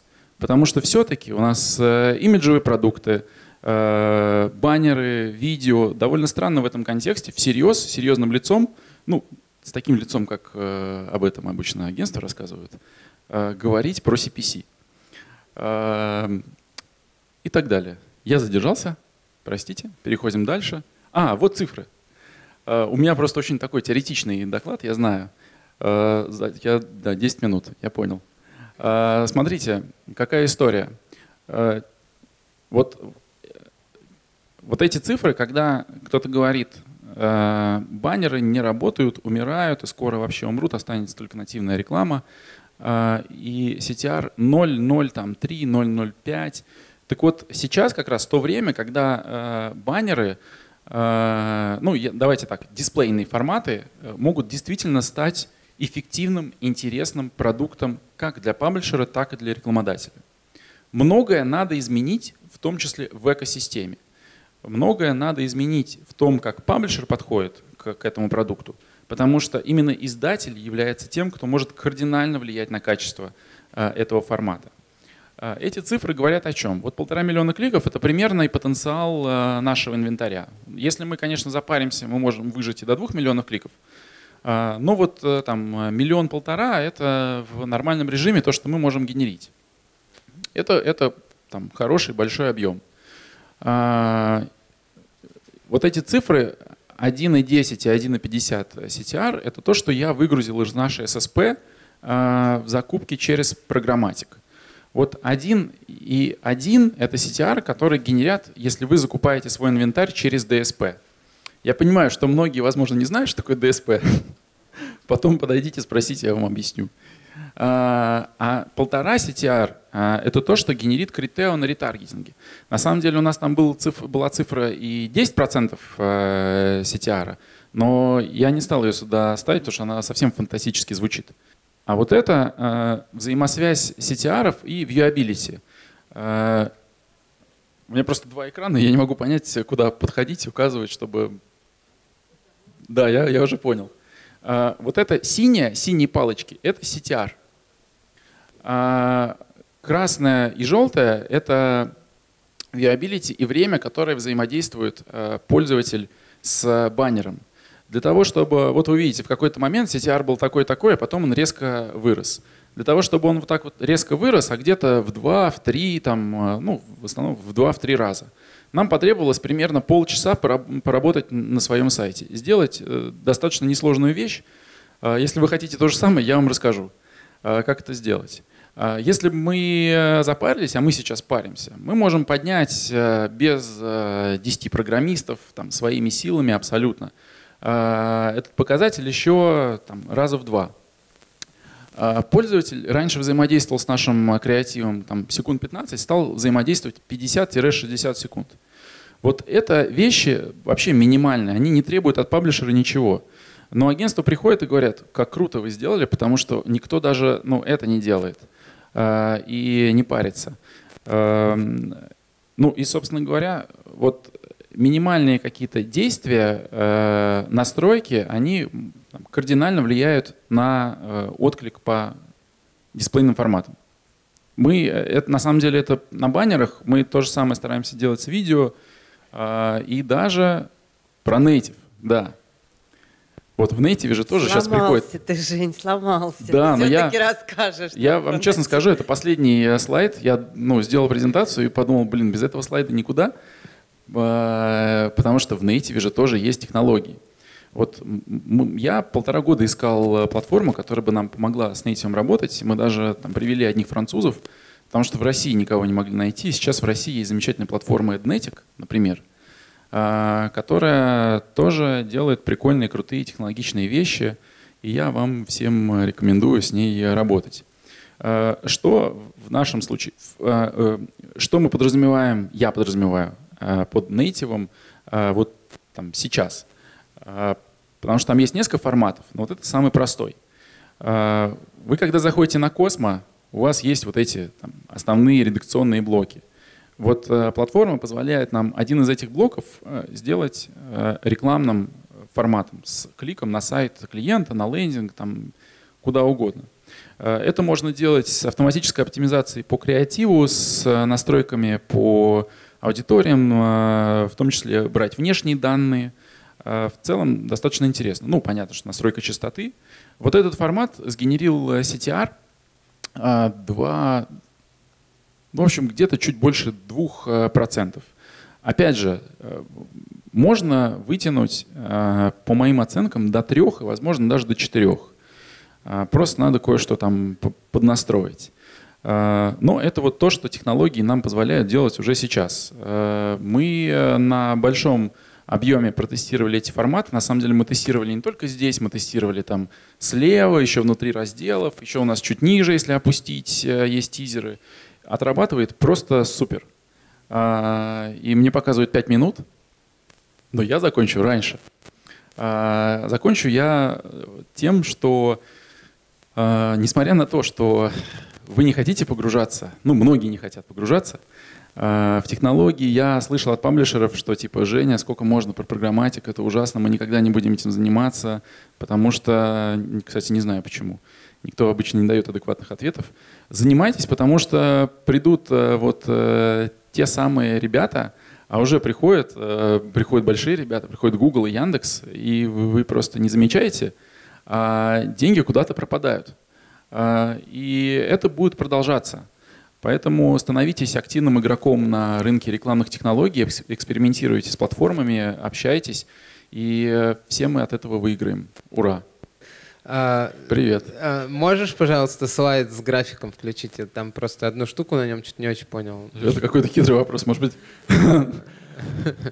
Вот смотри, там Да. перед тем, как начал расти CTR, в viewability красный график резко провалился.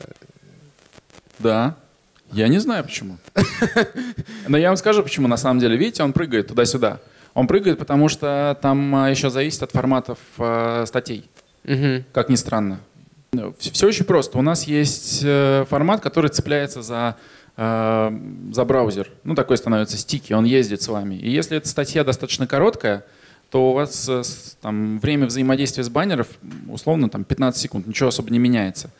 А а если это длинная статья, а у нас там были, были статьи, где 70 секунд э, человек читает, и много людей, да, и эти статьи там уж- ушли в Яндекс.Дзен и начали генерить много трафика. И тогда получается вот это. Вот мне такой вопрос, Жень. Просто я вспоминаю нашу секцию вот на Рифе, да, когда возник э, такое ощущение, что технологии постоянно наступают, появляется там Яндекс, Google, Facebook, что-то там ВКонтакте какую-то ленту настраивают. А паблишеры, они как будто вот все время такие, ну, ну окей, да, ну вот мы никак защищаться не будем. вот, Даже, нет, смотри, даже. Вот просто что ты вот когда даже вот э, я помню статью читал на VC, когда Яндекс э, вел Пиксель, который там да собирал аудиторию, ты говорил, мы что-нибудь придумаем паблишеры. Так вот, что паблишеры придумали, что они вообще будут делать с этим наступлением на их бизнес? Я могу рассказать. Во-первых, да, на нас все наступают. А, Более того, я еще тоже не могу понять. а, Все приходят и говорят, Facebook у нас уводит аудиторию. Ну давайте инвестируем еще какое-то количество денег для того, чтобы еще больше туда контента положить. Или э, отдавать свой мобильный инвентарь там, в VMP и так далее, в Instant Articles. А, Мы э, стараемся собираться, э, такая активная ячейка, и думать, какие, конечно же, санкции включать. На самом деле, я, можно тоже Да. влезу? Мгм. Я вот не, э, вчера буквально э, общалась как раз с Яндексом по поводу турбостраниц, потому что Мгм. они, ну, правда, очень лысенькие, убогенькие, да, и э, ребята сказали, что если все СМИ как-то отреагируют, то мы готовы вообще э, и партнерские коды, и обещали даже вот в течение там месяца, вот посмотрим, как это будет выглядеть, правда, через AdFox, ну, понятно, да, Мгм. но загружать рекламные сторонние коды. Э, Я к тому, что на самом деле с этим э, не просто там нужно бороться, нужно договариваться и общаться. Но вот э, я к тому, что СМИ должны как-то проявлять себя. Я согласен на плане, 100%. э, Абс- И тогда даже, ну, как бы Яндекс абсолютно коммуникабелен и там в этом плане. И даже Google отвечает. Но только не нам. Э, Нам отвечают. Я, я тебе могу сказать одно волшебное слово. Нужно в теме письма писать срочно Роскомнадзор. Окей. Тогда они отвечают в течение 10 минут. Не, ну смотрите, на самом деле они могут э, отвечать э, что угодно, но по факту, когда надо что-то сделать, понятно, что продуктовые решения Гугла происходят не здесь, нет смысла здесь что-либо лоббировать, потому что вряд ли в России будет что-то меняться. А, то, что Ну, С касается... турбостраницами, на самом деле, это ситуация, которую СМИ могут поменять, поменять своими руками абсолютно легко, э, потому что если э, ввести политику, ну ладно, все равно же можно, это, это, это ну, действительно легко. Нет, то, что надо быть э, там на порядок активнее в этом плане, это вообще это сомнений ноль. А, Другое дело, что каждый игрок, а, ну, смотрите, там, и Яндекс, и Google должен быть в какой-то степени доброжелательным, но при Ну, этом... не- Яндекс очень доброжелательный. но при этом, да, не потерять своих денег. А, Довольно сложно пойти нам навстречу и не потерять денег, потому что а, ну, на нашем инвентаре генерится э, доля этих доходов Ты понимаешь, большая. это не потеря их денег, это э, нельзя заработать все деньги, это часть денег, которые они планируют заработать. Я согласен, что- дать возможность им начать зарабатывать, то они фиг потом отдадут. А вот если на старте, когда идет какой-то шаг, да, все-таки разделить, потому что понятно, что там совершенно фантастические CTR, но я прошу прощения, когда у тебя кроме текста только один блок, и этот блок там огромный, это блок Мгм. Яндекса, совершенно понятно, почему там огромные CTR, да, на турбостраницах именно э, этого блока. Но если посчитать там доход, который, ну и другие рекламные форматы, то понятно, что площадка теряет. И мне кажется, что в этом плане можно найти компромисс, чтобы что-то зарабатывал Яндекс, да, но и площадка не теряла деньги. Это нормальная история. Ну, то есть не про Нормальная история, надо искать компромисс, надо договариваться. Но здесь еще важный момент, что на стороне паблишера должна быть соответствующая экспертиза. Потому что я уверен, я знаю, я был свидетелем этих каких-то разговоров, коммуникации, когда паблишер пытается договориться, но он на самом деле не понимает, как все устроено вообще. А для этого надо инвестировать в том числе в людей. Да? Людей надо покупать, потому что сейчас, ну, мне кажется, паблишинский- паблишинговый бизнес, он а, такой становится более технологичным, и надо в соответствующих э, сотрудников инвестировать. А, И э, сейчас, с одной стороны, большие игроки становятся такими контент-провайдерами.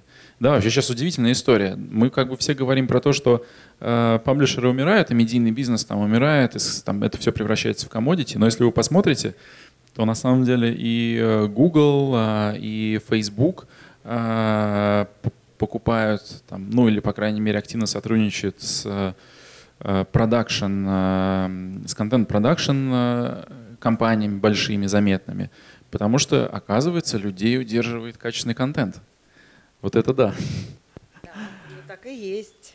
И ну, на этом фоне, безусловно, надо взаимодействовать, и все будет окей. Просто это не совсем то, что было раньше, когда паблишер вообще не погружается и только, э, и только переживает. А, И рынок уходит, деньги уходят.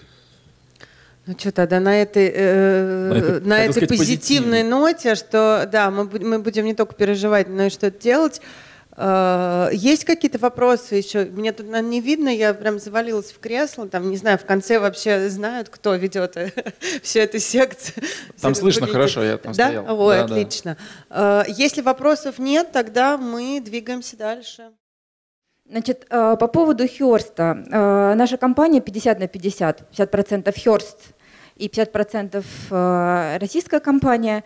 А С Independent мы родственники в общем, со стороны Хёрста. И тоже полтора месяца тому назад встречались с нашими америк- американскими коллегами. Так уж получается, что они приезжают в Москву в вояж и посещают и нас, и их.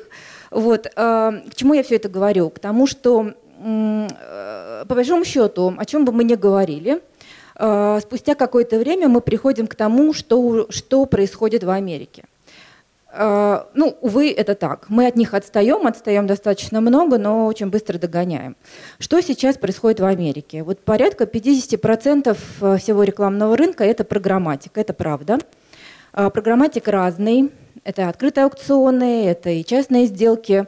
Э, Еще где-то порядка, наверное, 30% э, это нативная реклама, то, что э, у наших коллег в Хёрсте называется либо sponsored контент, либо branded контент.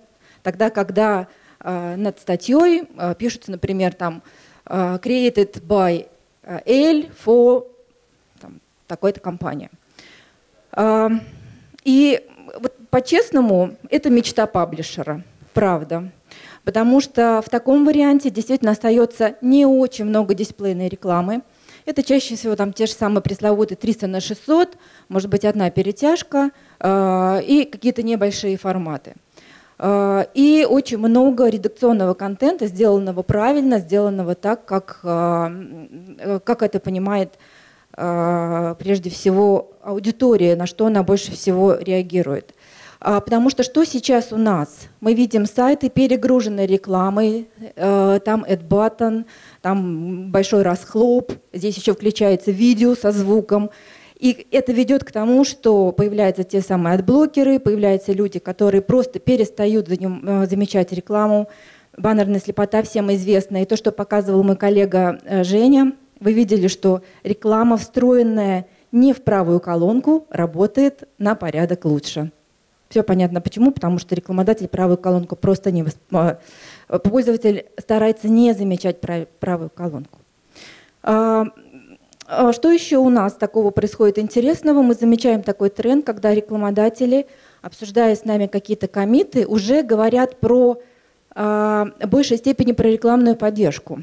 То есть они нам платят деньги за размещение дисплейной рекламы, за медиа закупки, но очень плотно, подробно обсуждают редакционную поддержку, и мы понимаем, что искренний интерес рекламодателя скорее, наверное, направлен на редакционную поддержку, а мы такие сайты, которых э, очень сложно разделить контент э, э, чисто редакционный или, может быть, направлен на рекламодателя, потому что мы пишем про бренды, мы пишем про моду, мы пишем про всякие баночки косметические, духи и прочее, прочее. Собственно, поэтому мне хотелось бы немного поговорить про нативную рекламу, потому что иногда душа болит. И вот это вот высказывание Агилви, оно сейчас, наверное, определенно а, еще более актуальнее, чем вот э, в середину прошлого века, когда а, Агилви говорила, что как, определенно как минимум в шесть раз больше людей читают классические тексты, чем рекламные тексты. Да, это так. И почему это происходит? Очень небольшой пример – основанный на э, редакционной поддержке, не коммерческой. Редакционная поддержка на нашем сайте Мэри Клэр, чтобы вы понимали, это небольшой сайт, он премиальный. Там всего лишь миллион двести э, уникальных пользователей в месяц. И э, то есть публикация не должна вызывать большого отклика. Вот две публикации, одна из них. То есть фактически, да, Dior и а, в первом случае это редакционный материал, сделанный по, там, а, по а, тем правилам, которые посчитала сделать редакция. И Эрмес – это публикация пресс-релиза. Результаты, которые мы получили. Публикация «Мисс Диор». Оба материала, надо сказать, были опубликованы в сентябре прошлого года, 16 -го. И мы видим, что «Мисс Диор» живет до сих пор. Это чистый органический трафик практически – а, вот э, можно увидеть, я не знаю, видите ли вы или нет, что большая часть трафика на этот материал пришло с Гугла, затем были прямые заходы из Яндекса. И э, уникально еще то, что этот материал э, привлек внимание наших читателей от, э, от 5 до 12 минут, в зависимости от источника. То есть, по большому счету, вроде бы очень небольшой материал, про аромат с легендарной историей и прочее, прочее, написанное по а, канонам редакционным, работает до сих пор и будет работать и дальше. А, вот публикация материала «Эрмес», публикация пресс-релизная. Просто то, каким образом хотел это сделать а, наш рекламодатель. Фактически мы видим, что был небольшой пик в самый момент публикации в сентябре прошлого года – и всего 369 э, посетителей против 8600 посетителей, пришедших на Диор. То есть вот такой небольшой пример, только э, на, одно, на одном и том же сайте, опубликованный в одно и то же время. Ничего не делалось, никаких обвязок, никаких дополнительных продвижений. Всего лишь э, опыт, всего лишь понимание редакции своей аудитории дает вот такой результат. Что же, какие же ключи, каким образом я их э, сформулировала, может быть, вам будет это полезно, может быть, я буду говорить о каких-то банальных вещах, но тем не менее сказать о них не могу. Самый главный ключ к успеху, наверное, это лояльные читатели сайта, на которые, в принципе, любой рекламодатель рассчитывает. Реклама должна быть адаптирована. Одну и ту же рекламу вы не сможете разместить на двух совершенно разных площадках и получить одинаковый хороший эффект. Даже э, в нашей компании, в той сети, которой руковожу я, Women's Network, семь различных сайтов. Все они отличны друг от друга. Woman.ru не похож на Elle.ru, Marie Claire не похож на Psychology. Каждый из них требует адаптации материала и, и будет реакция э, лояльной аудитории сайта только в том случае, если этот материал будет подан именно с той интонацией, с той э, определенной редакционной манерой, которая присуща тому или иному сайту. Еще одна история – это то, что э, лояльные пользователи приходят на сайт, чтобы подчеркнуть какую-то информацию, и она должна быть подана привлекательным для них образом. Следующий ключ к успеху, который, как мы понимаем, это все-таки органический трафик и э, SEO, оптимизация под поисковики. Э, мы тут говорили вот совсем недавно о том, что наш медиахолдинг умеет работать с поисковиками. У нас очень большая доля органического трафика на наших сайтах. Woman.ru имеет почти 70% органического трафика, Woman's Day порядка 50% и так далее, можно идти перечислять. А, это то, что бесплатно, то, что приходит с пожелания людей, с поисковиков, э, те, которые задали определенный вопрос и находят ответ на наших сайтах. Какие ключи к успеху в этом случае, когда вы хотите рассчитывать на получение трафика с поисковиков? Самое главное, текст должен быть уникальным. Если мы публикуем один и тот же пресс-релиз, даже немножко адаптированный, он никогда не будет иметь шанс, э, такого шанса к успеху поисковиках как уникальный текст, написанный конкретно на, для каждого сайта. Потому что каждый поисковик, прежде всего, выдавать тот или иной материал в топах, тестирует его на уникальность. Это банальная вещь, но не все, к сожалению, это помнят. А далее, есть, может быть, небольшая ремарка, но тем не менее текст не должен быть слишком маленьким.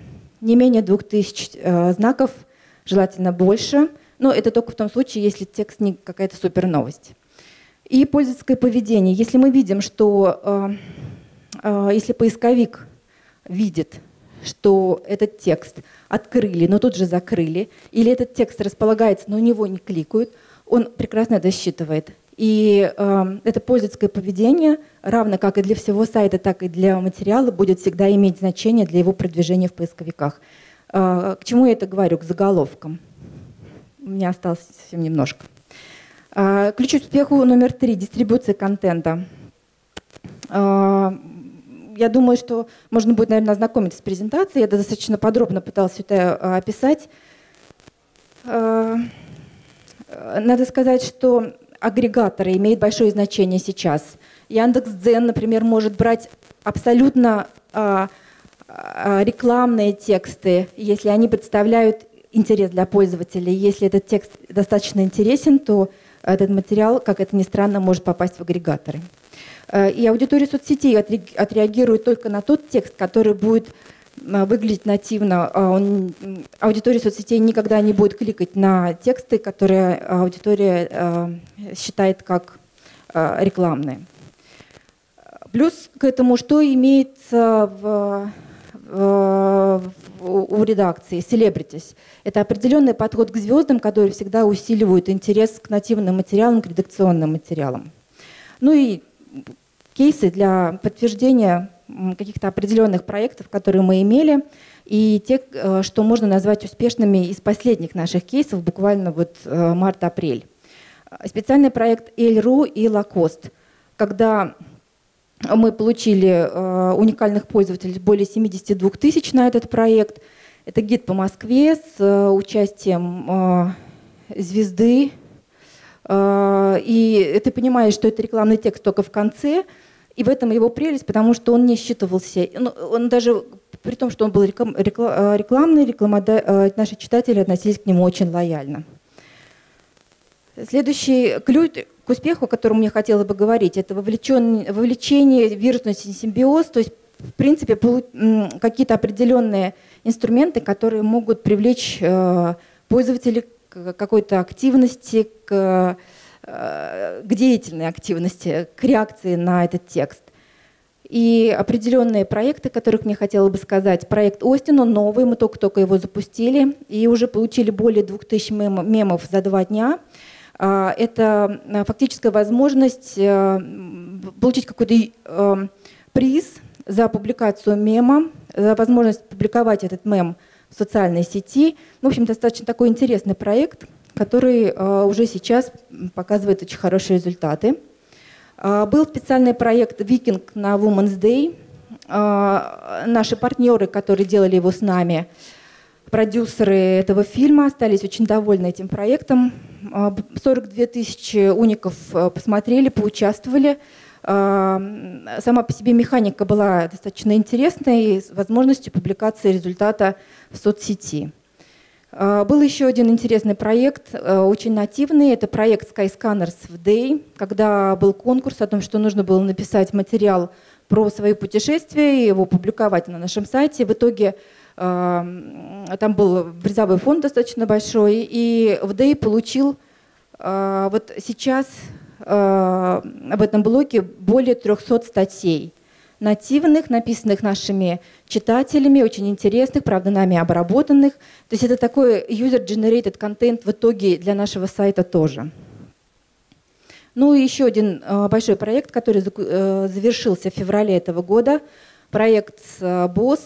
Э, мы получили более 425 тысяч уников на этот проект – в чем его была особенность? А, в том, что очень, очень часто большие бренды имеют ограничения свои имиджи, которые невозможно менять, свои лендинг-пейджи и прочее, прочее, которые а, невозможно сделать настолько нативными, чтобы получить определенный результат. В итоге наш отдел спецпроектов предложил решение, когда мы обвязываем те материалы, предложенные рекламодателем, своими нативными статьями на наших сайтах – а, было задействовано четыре сайта. Это Эль, Мари Клэр, а, Психология и Вумен, в которых были размещены статьи исключительно в формате каждого сайта. Была привлечена звезда, в данном случае блогер, с публикациями с ней, с ее постами, блогами. А, было очень много анонсов в соцсетях, которые действительно хорошо работали, потому что были поданы нативно и интересно.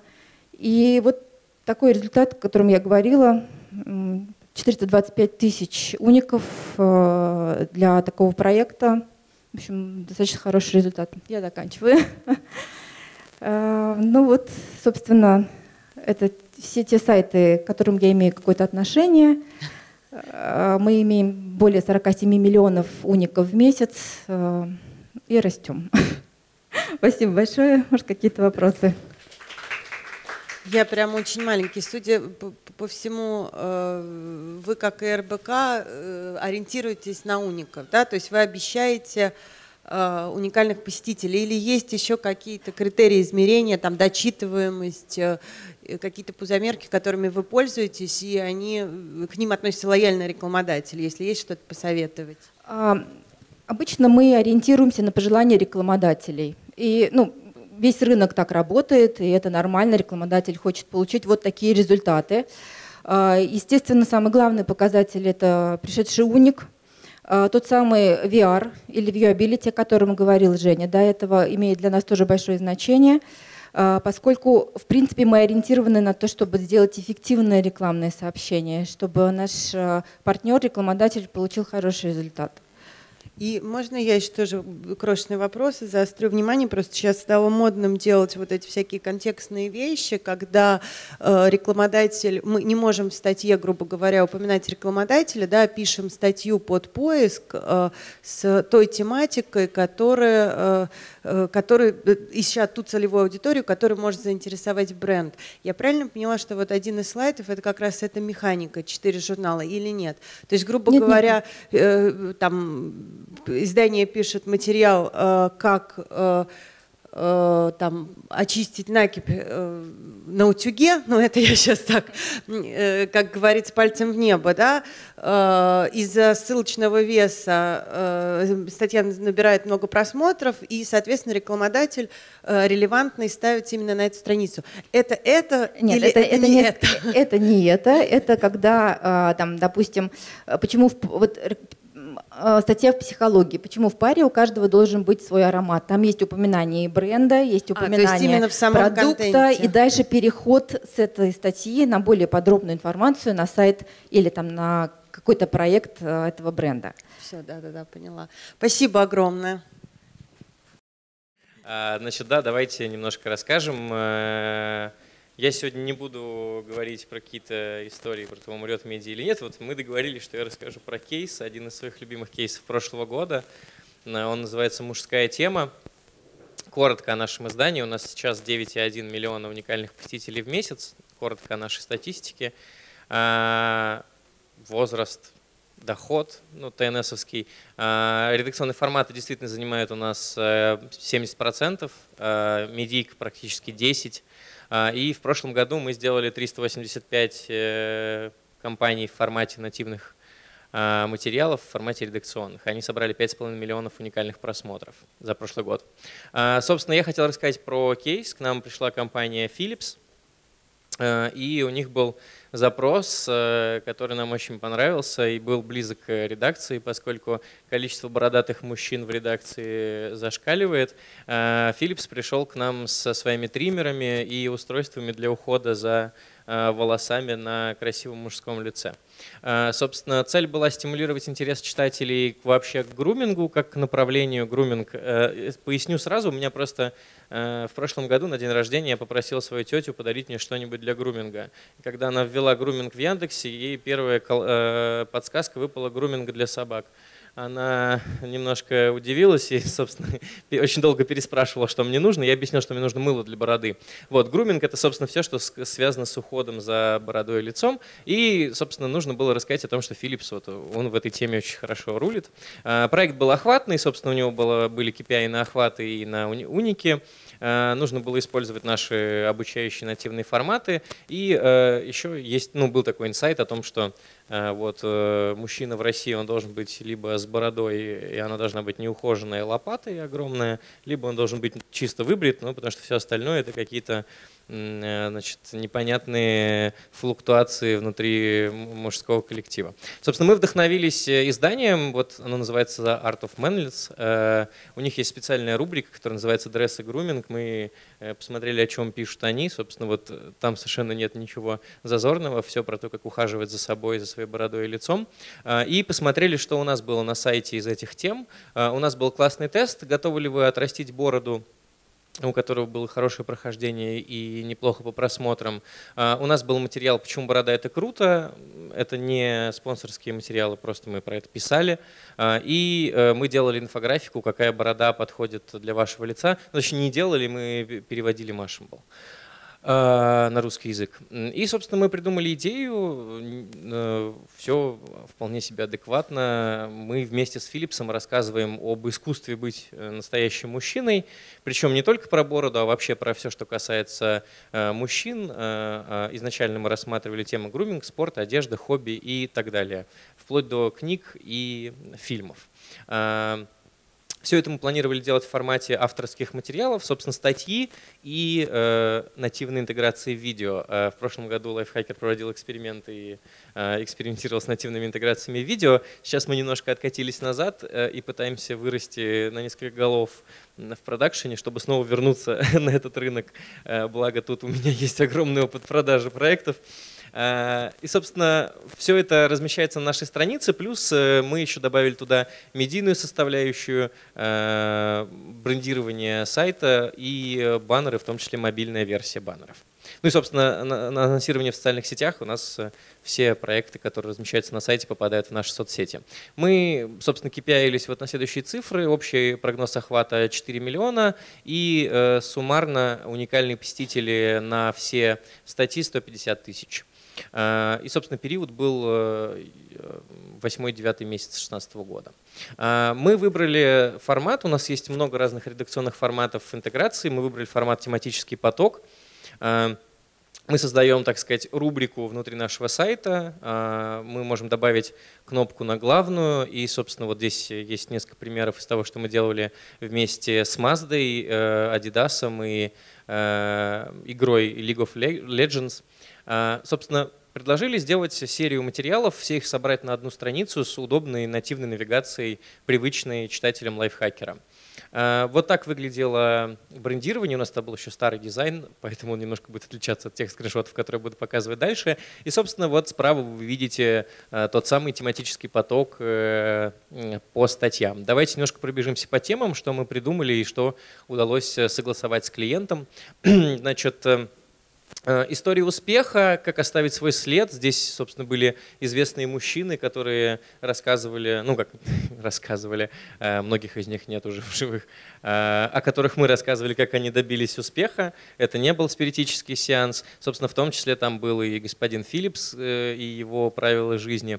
В подвале у нас, собственно, располагался большой баннер Э, с ссылкой на триммер Philips'а.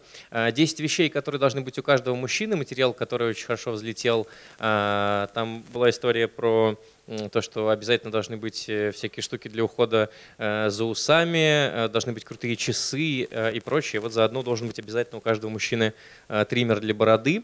Э, пять видов спорта, которые не пропустит настоящий мужчина. Это небольшая отсылка к э, выступлению Тины Канделаки. И все они, и все они конечно же, на Матч ТВ.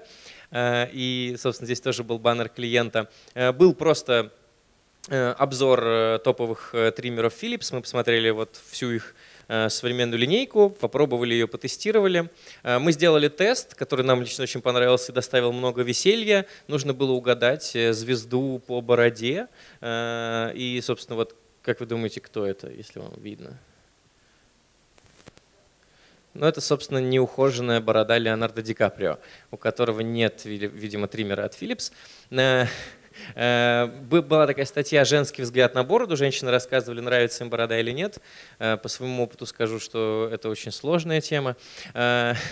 Значит, щетина хорошо, но вот за ней нужно обязательно ухаживать, там с ссылочкой на триммеры Philips'а. Э, мы сделали два видеообзора. Вот один из первых – это как ухаживать за бородой и щетиной. Обзор триммера Philips BT7210. Э, у него было относительно много просмотров, 11 тысяч, и 5 тысяч уникальных просмотров на сайте. Мы параллельно еще в YouTube заливали всю эту историю. Краткий курс молодого гурмана – это карточки-перевертыши. Здесь самые популярные блюда из мяса, которые должен уметь уметь готовить настоящий мужчина. Э, а, вот эта статья очень хорошо бомбанула по комментариям, там больше сотни комментариев, о чем не нужно разговаривать с женщиной, там самые бомбящие темы, которые могут закончиться скандалом, и вот э, об этом с женщинами лучше не говорить. Э, там было очень круто все по взаимодействиям, статью хорошо шерили, собственно, и обсуждали. Если вы посмотрите, у нее 425 шеров в Фейсбуке и, собственно, много просмотров. Как выбрать хороший триммер для бороды? Здесь подробная инструкция о том, на что стоит обращать внимание, если вы выбираете себе триммер. А, там очень ненавязчиво просто показывались хорошие примеры, например, как, должен, как должна выглядеть хорошая бритва, чтобы понять, что она классная, а, с логотипом Philips ненавязчивым. А, классная история в формате видео от специалиста барбершопа, который рассказывает о том, что вот последние несколько лет э, носить бороду стало актуальным и рассказывает какие-то основные принципы, на что стоит обращать внимание, и что вот если вам в барбершопе привели бороду в порядок, как за ней стоит ухаживать дома. Здесь, как видите, 71 тысяч просмотров. А, как флиртовать и оставаться джентльменом, такое странное название. Ну, вот, в общем, э, возможно, для русских мужчин это актуально. То есть это не из разряда взял подмышку и унес, это как бы построить какой-то диалог с женщиной. Эм, как отрастить бороду? Пошаговое руководство. Кстати, довольно популярный запрос э, в интернете. Нагенерировал неплохо трафика. Сюда же интегрирован, собственно, вот пример э, работы э, триммера Philips, у которого есть лазерное наведение. Вот, честно, не знаю, зачем лазерное наведение, нужно никогда не пробовал, но говорят, что оно позволяет делать вашу бороду еще более привлекательной. Э, И классная статья «Как мужчине стареть стильно». У нас вообще очень хорошо заходят материалы, э, как жить после 30, как жить после 40, советы 30-летним от 60-летних. Э, И вот как-то все очень любят смотреть в будущее и думать о том, как жить дальше. Вот как стареть мужчине стильно. Там она получилась такая очень хипстерская статья про то, что вот как должен выглядеть настоящий мужчина через 20-30 лет. Я даже вот как-то иногда проверяю чек-лист, иду ли я правильно или нет. А, И, собственно, у нас получился общий охват чуть больше, чем мы обещали. На 64% перевыполнили. Э, Суммарное количество э, универса- уникальных посетителей в рамках проекта – это прочтение материалов без просмотра видео. На 59% перевыполнили. По цифрам довольно хорошее попадание получилось в возрастную э, группу. Как видите, э, это левый верхний график. Два самых больших сегмента – это 25-44, то есть э, довольно взрослая аудитория. Собственно, по полу э, 72% это мужчины, 27% женщины, которые в том числе привлеклись материалами из разряда «О чем не стоит разговаривать с женщинами и как флиртовать правильно» что тоже является нормальным показателем. Э, По геотаргетингу у нас эм, 62% э, Россия, собственно, что соответствует средней нашей выдержке, выборке по сайту. Именно столько мы обычно показываем читателей из России. И по источникам, э, поскольку эти, этот график сразу после э, проведения кампании, здесь э, доля органики недостаточно большая. Сейчас у проекта больше органических просмотров.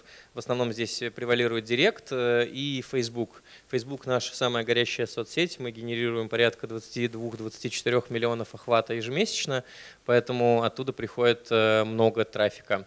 Ну и, собственно, из приятного, э, с момента проведения кампании на сегодняшний день прирост уникальных э, просмотров еще плюс 11,5%, ну, за счет, собственно, органического трафика, который продолжает приходить на сайт, потому что статьи э, по-прежнему актуальны и тема довольно востребованная.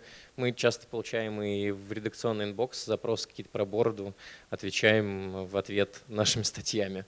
Э, Вот, э, собственно, ну, если какие-то более подробные вопросы про бороду, уход за волосами, выбором косметики, можно мне в Facebook написать. Я поделюсь своей практикой, как правильно кокосовое масло по лицу, значит, размазывать. Все? Так, тогда Окей. Тогда отращивайте бороды и будьте счастливы. И читайте лайфхакер. Станьте 9 миллионов э, 100 тысяч первым читателем. Спасибо.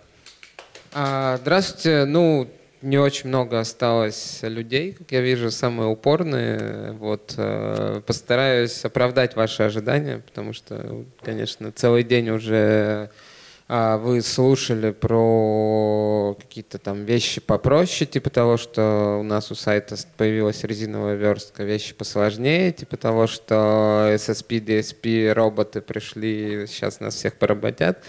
Вот, э, мы в Lookit Media, как э, ну, такой достаточно инновационный активный паблишер, постоянно следим за тем, что вообще происходит вокруг, постоянно вынуждены двигаться вперед.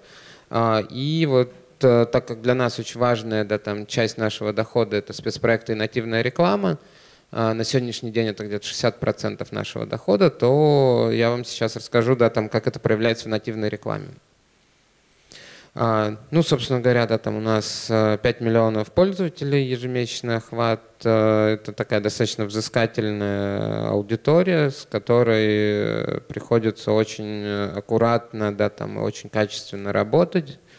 А, Например, мы там не можем себе позволить инфоподдержки никакие делать. Э, У нас вся реклама помечена, у нас всегда стоит брендинг, э, всегда стоит указание на то, кто заплатил деньги за что. А, Это нам, конечно, создает некоторые сложности в продажах, потому что не все на рынке так привыкли работать, но и дает, с другой стороны, хорошие очень результаты. А, Ну, собственно говоря, да, там за 7 лет то, что мы делаем спецпроекты и нативные проекты, у нас э, 65 наград, да, там, в том числе уровня канских львов. А, И мы сделали больше 480 проектов за это время. А, Но что происходит, да, там за эти 7 лет мы видели уже несколько раз то, что каждые 3-4 года пользователи, продвинутые активные пользователи, они мигрируют с платформы на платформу, и то, да, там, тот э, канал, в котором они привыкли получать информацию, он меняется. А, И если мы вот посмотрим на этот график, да, там я его уже не раз на разных конференциях показывал, А, Это график того, как менялись ключевые устройства для потребления информации и как э, менялись ключевые а, медиа, да, там, ка- медиаканалы, в которых люди потребляли информацию. То есть если начало 2000-х — это веб, э, и это именно десктопный веб, то в 2007 году появилось такое устройство, как iPhone, а, и это устройство изменило все. Да, то, есть в течение нескольких э, буквально лет э, появились другие смартфоны, доля их начала расти, и мы пришли к состоянию окружающей среды, в которой доминирует э, mobile и social media. А В России, да, там еще пока в меньшей степени, но, например, там на наших площадках уже сейчас в выходные до 70% доходит мобильный трафик, в будни 51-55%. А, И мы ожидаем, что это будет в большом темпе э, да, там, дальше меняться, и мы придем к 70, там, к 80% mobile а. А, Ну и, соответственно, social media вытеснили search, то есть с точки зрения проведенного времени Google, да, там сейчас уже не главная компания в мире, главная компания в мире Facebook. Потому что люди проводят в Фейсбуке в разы больше времени, и Facebook контролирует mobile очень хорошо. А, Посмотрим дальше. Да, там 2012 год появилось такое устройство, как Oculus. Это очки для дополненной реальности, для, для виртуальной реальности. А, То есть это очки, которые позволяли погрузиться в виртуальную реальность. И потом после да, там, Oculus появилось опять же много устройств. Появились такие штуки, как картборд, куда можно свой смартфон просто вставить. Платформы, там и Facebook, и YouTube начали развивать 360 видео. Мы сейчас очень активно работаем с 360 видео. Facebook очень активно работает с виртуальной реальностью. В принципе, все крупные игроки, да, там у Гугла целая студия по съемке фильмов в 360, у них там режиссер есть, прям продакшн гигантский. Крупнейшие теле- телевизионные да, там, компании, производители контента инвестируют очень много в 360 видео. Да. А, Это очень большая история, э, в рамках которой будет очень много интересного и в которую сейчас инвестируют все крупные игроки. А, Одновременно с этим э, началась э, так называемая post-application era, то есть люди на мобайле перестали устанавливать приложения, то есть то, что стоит, стоит, новое приложение почти невозможно пользователю установить. А, И в целом, э, да, там такая история, как приложение, начинает постепенно уходить в прошлое, а аудитория начинает уходить в мессенджеры. И при этом внутри мессенджеров в формате чат-бота или в формате э, чат-бота с элементами веб-интерфейса можно реализовывать приложения, которые находятся на самом деле внутри приложения мессенджер. А, Это тоже большая история, за которой мы внимательно следим. У нас сейчас есть внутри подразделение небольшое, которое чат-ботами занимается, которое занимается вот этими приложениями внутри мессенджеров. А, При этом очень интересная история произошла в 2016 году. Выстрелило такое устройство, как Amazon Alexa. То есть вот этот вот цилиндр — это новый тип абсолютно тоже устройства. Это устройство, у которого нет экрана. А, И вообще 2016 год — это эпоха появления действительно популярных голосовых помощников. И сейчас идет битва между Siri от Apple, Cortana от Microsoft и Alexa от э, Amazon. И Alexa пока побеждает. И одно из самых ну, таких популярных и интересных устройств это Amazon Echo, да, там, в котором живет эта Alexa, в общем-то. И это тоже очень серьезная история большая, то есть э, целый класс устройств сейчас формируется, и Apple тоже хочет выпустить э, такую штуку у Google, есть уже Microsoft над этим работает. То есть это устройство без экрана, с которыми люди разговаривают.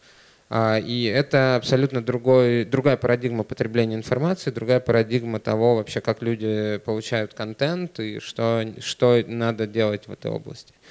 И, в общем-то, если мы посмотрим да, там, на эту историю, то мы ожидаем постмобайла, то есть это история, когда есть э, вот эти вот голосовые интерфейсы без экранов, то есть уже не смартфон, а просто человек разговаривает э, с этими помощниками в автомобиле, дома, там, на кухне. А, то есть, например, для Амазона Alexa уже нормальную часть продаж генерит, то есть человек подходит просто к этой штуке, говорит, там, типа, купи мне молоко, то же самое, что и на прошлой неделе, все, там, типа, на следующий день утром ему привезли молоко. Все, не надо на сайт ходить. А, И то же самое, да, там с VR, э, большая история, мы там смотрим, как она развивается, активно тоже над этим работаем. А, и еще одна история тоже ближайших буквально лет, это Global Media, то есть сейчас у нас что есть из глобального, да, там есть Facebook, есть Google, там Snapchat, Instagram, а сейчас э, системы машинного перевода последние пару лет за счет использования нейросетей очень быстро начали прогрессировать, и это открывает нам потрясающую возможность э, того, что в ближайшие пару-тройку лет любое медиа будет доступно на любом э, языке в мире.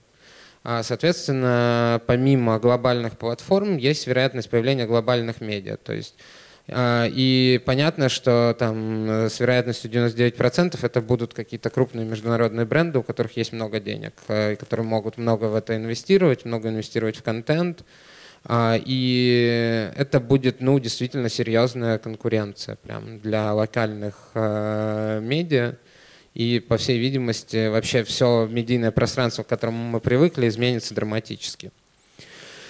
Вот, ну, собственно говоря, наблюдая на все это, мы руководствуемся принципом э, Вейна Грецки, э, великих хоккеист, знал, что в хоккей надо бежать не туда, где сейчас шайба, а туда, куда она летит, и тогда есть шанс, что, да, там, вы вот как этот медведь поймаете э, рыбку. Собственно говоря, да, там, э, возвращаясь к тому, что я уже рассказывал, да, там еще раз хочу обратить внимание на то, что mobile драматически растет, а в шестнадцатом году у нас сравнялся он в среднем, да, там э, в семнадцатом году будет 60. Это такой, типа, очень осторожный прогноз. В выходные у нас уже больше 60. В принципе, если у вас нет, например, сайта нормального мобильного, да, там вы бренд, э, и у вас нет нормального мобильного сайта, то это реально серьезная проблема, потому что уже больше половины, да, там продвинутой аудитории ходит э, в интернет, пользуются вообще интернетом с мобильного устройства, и у вас большие с этим проблемы. В принципе, да, там, если у вас э, ну, то есть у вас есть еще там несколько лет, чтобы сделать мобильный сайт. Потому что через два года, в принципе, мобильный сайт будет не нужен, потому что люди уходят внутрь платформ, они начинают внутри экосистемы перемещаться, внутри Фейсбука, внутри ВКонтакта. А, то есть сайт как концепция, да, там десктопный уже совсем а, отмирает, да, там нет смысла реально серьезно заморачиваться с сайтом под десктоп. А, сайт мобильный еще там в течение пары-тройки лет будет актуален. А, но все равно нужно смотреть внутрь платформ. И следующий график э, тоже очень показательный. 16 а, год а, у нас да, там распределение того, как люди на сайт к нам ходят. И при этом внутри Фейсбука там, из этих 44% половина читает у нас Instant Articles, и тут хочется отметить, да, там, что многие издатели плачут, что Instant Article не приносит им денег, они там не получают с него трафика, но просто тут вопрос в том, что все инструменты надо использовать по назначению и нормально читать инструкцию, да, там. То есть, в принципе, можно взять молоток и жаловаться, что у вас как бы там, не знаю, кофе не варится да, при помощи молотка. У нас Instant Articles прекрасно работает, потому что, во-первых, мы не пытаемся из него трафик вытаскивать, потому что это формат для того, чтобы людям было удобно внутри Фейсбука читать. Во-вторых, мы в нем ставим свою собственную рекламу, которую сами продаем. Поэтому у нас там не показывается никакого трэша, и мы продаем за столько, за сколько считаем это правильно продавать. Зарабатываем достаточно денег, все довольны, да, там и мы, и клиенты, и у нас нет никаких проблем с Фейсбуком вообще. А, то же самое с Google AMP, то же самое, да, там сейчас про Яндекс все говорят, там вот там турбо, турбо страницы, что же делать, что же делать. Ну, просто нужно нормально прочесть инструкцию, нормально спрограммировать, посмотреть, как это работает и засунуть туда свою рекламу, которую вы контролируете, все. А, да, я уже клонюсь к закату, потому я что хочу... времени мало. А, то есть медиа должны эволюционировать вместе с платформой смотрите платформу, понимаете, как она работает, адаптируетесь под нее и зарабатываете внутри нее деньги. Да, там, э, в противном случае, э, как говорится, да, там против лома нет приема, и выскакивать перед скоростным экспрессом с плакатом да, там, на пути, конечно, можно, это будет красивая смерть, но это будет конец. А, вот, собственно говоря, да, там мы сейчас переходим в multi-channel, потому что мы понимаем, что читатели тоже, да, там уходят в мультиканальное потребление контента, и у нас э, есть, да, там масса каналов разных в разных медиа, которые при этом все равно остаются вилладжем, то есть с точки зрения стилистики, с точки зрения редакционных стандартов, с точки зрения того продукта, который читатель привык получать, да, там они сохраняют полностью все признаки вилладжа. А, Multi-channel content distribution. А, Соответственно, мы перестроили работу редакции полностью, чтобы поддерживать да, там, такой темп вещания во всех каналах. А, У нас появился видеопродакшн, э, потому что видео очень хорошо адаптируется под разные каналы, и производить видео удобно, и если посчитать, да, в итоге суммарные охваты, то не так дорого, как кажется. А, Дизайн-отдел у нас начал работать э, не только на производство верстки для сайта, но и на производство каких-то дизайн-элементов для соцсетей. И все это сходится в отделе дистрибуции, который распределяет контент по каналам вещания, в которых да, там этот контент должен оказаться. А, Понятно, что схема еще не идеальная, мы ее постоянно адаптируем, но в- в целом результаты говорят о том, что мы на правильном пути. А, Ну и вот там, например, да, там а, мобильный сайт, мобильная версия Instant Article. То есть мы делаем еще так, чтобы у нас автоматически адаптировался контент под разные, соответственно, форматы.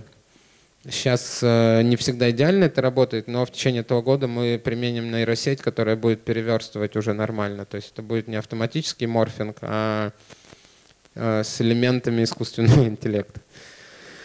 Вот, э, что еще? Ну, там э, есть адаптации какие-то, да, там, когда у нас просто статья превращается в карточку, например, для Facebook и для ВКонтакта. То есть э, здесь текст большой, а здесь карточка с основными цифрами просто. А, И так как у меня остается совсем немного времени, да, там я еще ускорюсь немножко. Вот обычная статья, а тут мы сделали видео по мотивам этого текста. Причем в тексте у нас маркетологи там обсуждают то, как люди продают товары в электричках, а видео у нас про тестирование этих товаров в редакции. То есть вот мы во время написания статьи накупили вот этого всего странного, и теперь мы протестируем, работает оно или нет.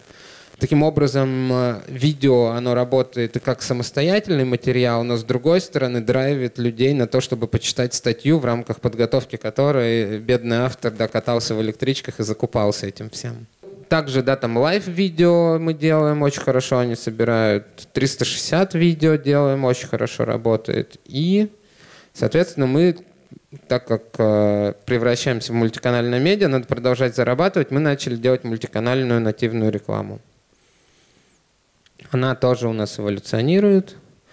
А, При этом мы используем технологический опыт редакции и какие-то опыт, опыт редакции с точки зрения заходов, но у нас жестко запрещено привлекать редакцию к производству рекламы, потому что редакция должна быть независимой и не должна быть вовлечена в получение денег от рекламодателя, чтобы они могли а, написать всегда текст, а, да, там, невзирая ни на что. Там, из-за этого иногда, конечно, бывают смешные инциденты. Например, редакция пишет, что какая-нибудь там вещь э, плохая и ненужная, одновременно с этим там спецпроект выходит, и там иногда приходится на пару дней это там разносить в пространстве и во времени, потому что так, такого вообще, конечно, никто не ожидает увидеть.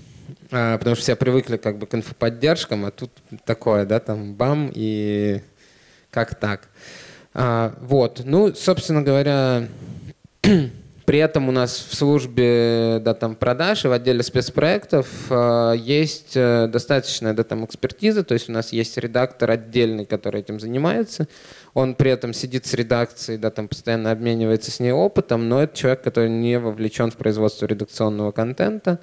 Отдельно у нас там отдел креатива, да, про что рассказывала моя коллега из э, РБК, да, там про то, что очень важно внутри держать достаточное количество людей в команде. У нас большой креативный отдел, у нас там сейчас пять человек, которые постоянно придумывают идеи, но не просто руководствуясь тем, что классно было бы вот это сделать, а руководствуясь тем, какая стратегия у бренда, какие задачи у бренда. То есть это люди из рекламных агентств, из креатива, поэтому, собственно говоря, у нас всегда спецпроекты э, сделаны так, что и читателям они нравятся, и задачи бренда решают. Потому что сделать просто какой-то, да, там, какую-то статью очень популярную и туда поставить э, продукт от клиента, ну, как бы это легко очень. То есть это элементарная задача. Вопрос в том, что клиент получит по результатам.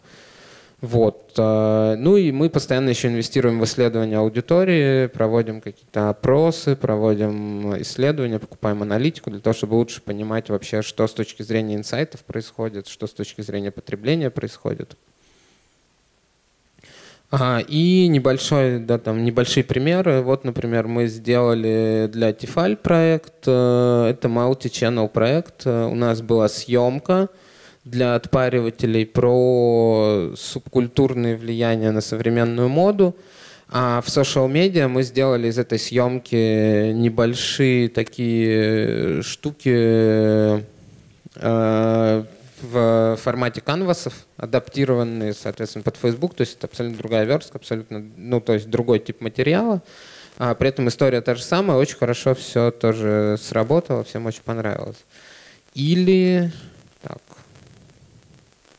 Хм. А, Яндекс Такси, да, там для Яндекс Такси мы сделали спецпроект, в котором мы разыгрывали сценки из фильмов с таксистами, поставив им вместо а, регистратора двухсторонний регистратор, который снимает не только дорогу, но и то, что в машине происходит. А, И это у нас было в формате поста, и одновременно с этим мы сделали еще видео, да, там, которые пошли в соцсети в формате видео. Залезай! Как муна манчупа тукуманана. Я тебя не понимаю. Она селена муна кита лола пада цук-цук мина бумбада. Ёкаламане, я тоже люблю блондинок вообще-то. Она киту папа кичета да муна папа тикчаса. Куда вам надо? Еще раз медленно, помедленнее. Селе килманула педактура силамана. Биг мала бумба. Большой бумба. Ну, я почти понял тебя. Она ти... Тихо, тихо, тихо, тихо. Тебя обидели, что ли? Угу, угу. Бумба. Потихоньку не кричи. Блондинка, do you speak English? Я тебя не понимаю. Варить. Во-во-во-во-во, потихонечку Ты надо получается. бомба. Адрес, скажи адрес, куда ехать? Кела колумбо пипа мунже бина адакта. Не дашь надо. Не пугай людей моей земли. Что такое? Да не ной, как маленький ребенок. Вот э, парикмахерская. Хочешь по- постричь? Чари чари чари. Постричься? Хочешь волосы? Тихо, тихо, тихо, тихо. Парикмахерскую хочешь? Селе. Можешь тебя постричь хорошенько? Вот, в общем, видеоролики эти собрали, да, там э, такой же охват, как пост на сайте. То есть, по сути дела, мы удвоили охват спецпроекта, соответственно, для клиентов два раза снизили стоимость контакта. А, И при этом, да, там, э, то, что хотел сказать Яндекс, то, что у них спокойные водители, которые готовы там в любой странной ситуации вести себя корректно и помогать пассажиру. А, Яндекс донес и в рамках как бы поста на сайте большого, и в рамках э, коротких форматов, да, там небольшой текст плюс вот эти видео.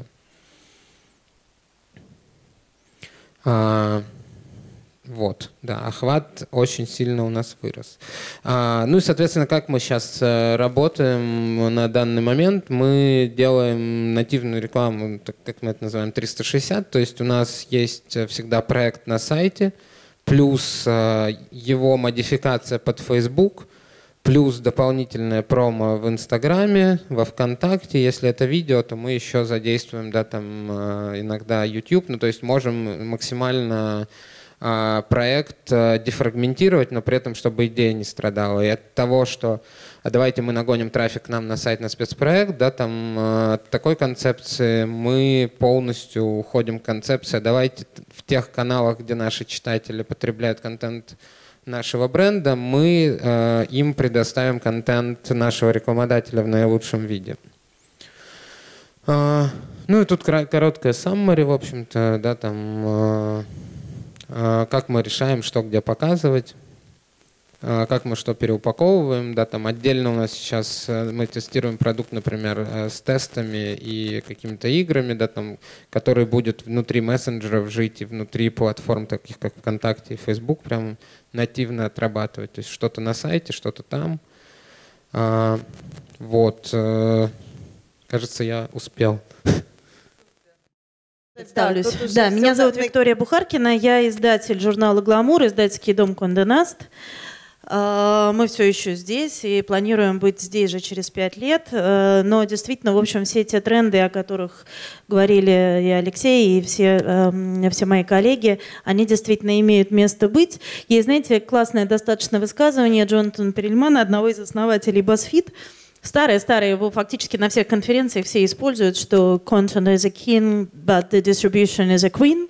И э, по-русски еще можно добавить, что это такая королева в штанах. Вот на самом деле это действительно самый главный тренд, что э, надо пытаться искать современные каналы дистрибуции контента, но от качественного контента нам точно никуда не деться. Хуже того, чем больше носителей и каналов коммуникации появляется, тем важнее становится, собственно говоря, то, о чем говорим мы, о чем говорят э, клиенты и их бренды. Собственно говоря, э, это такая маленькая преамбула к тому, что мы говорим с абсолютно новыми людьми, с людьми с стопроцентной эгоцентрикой в ДНК.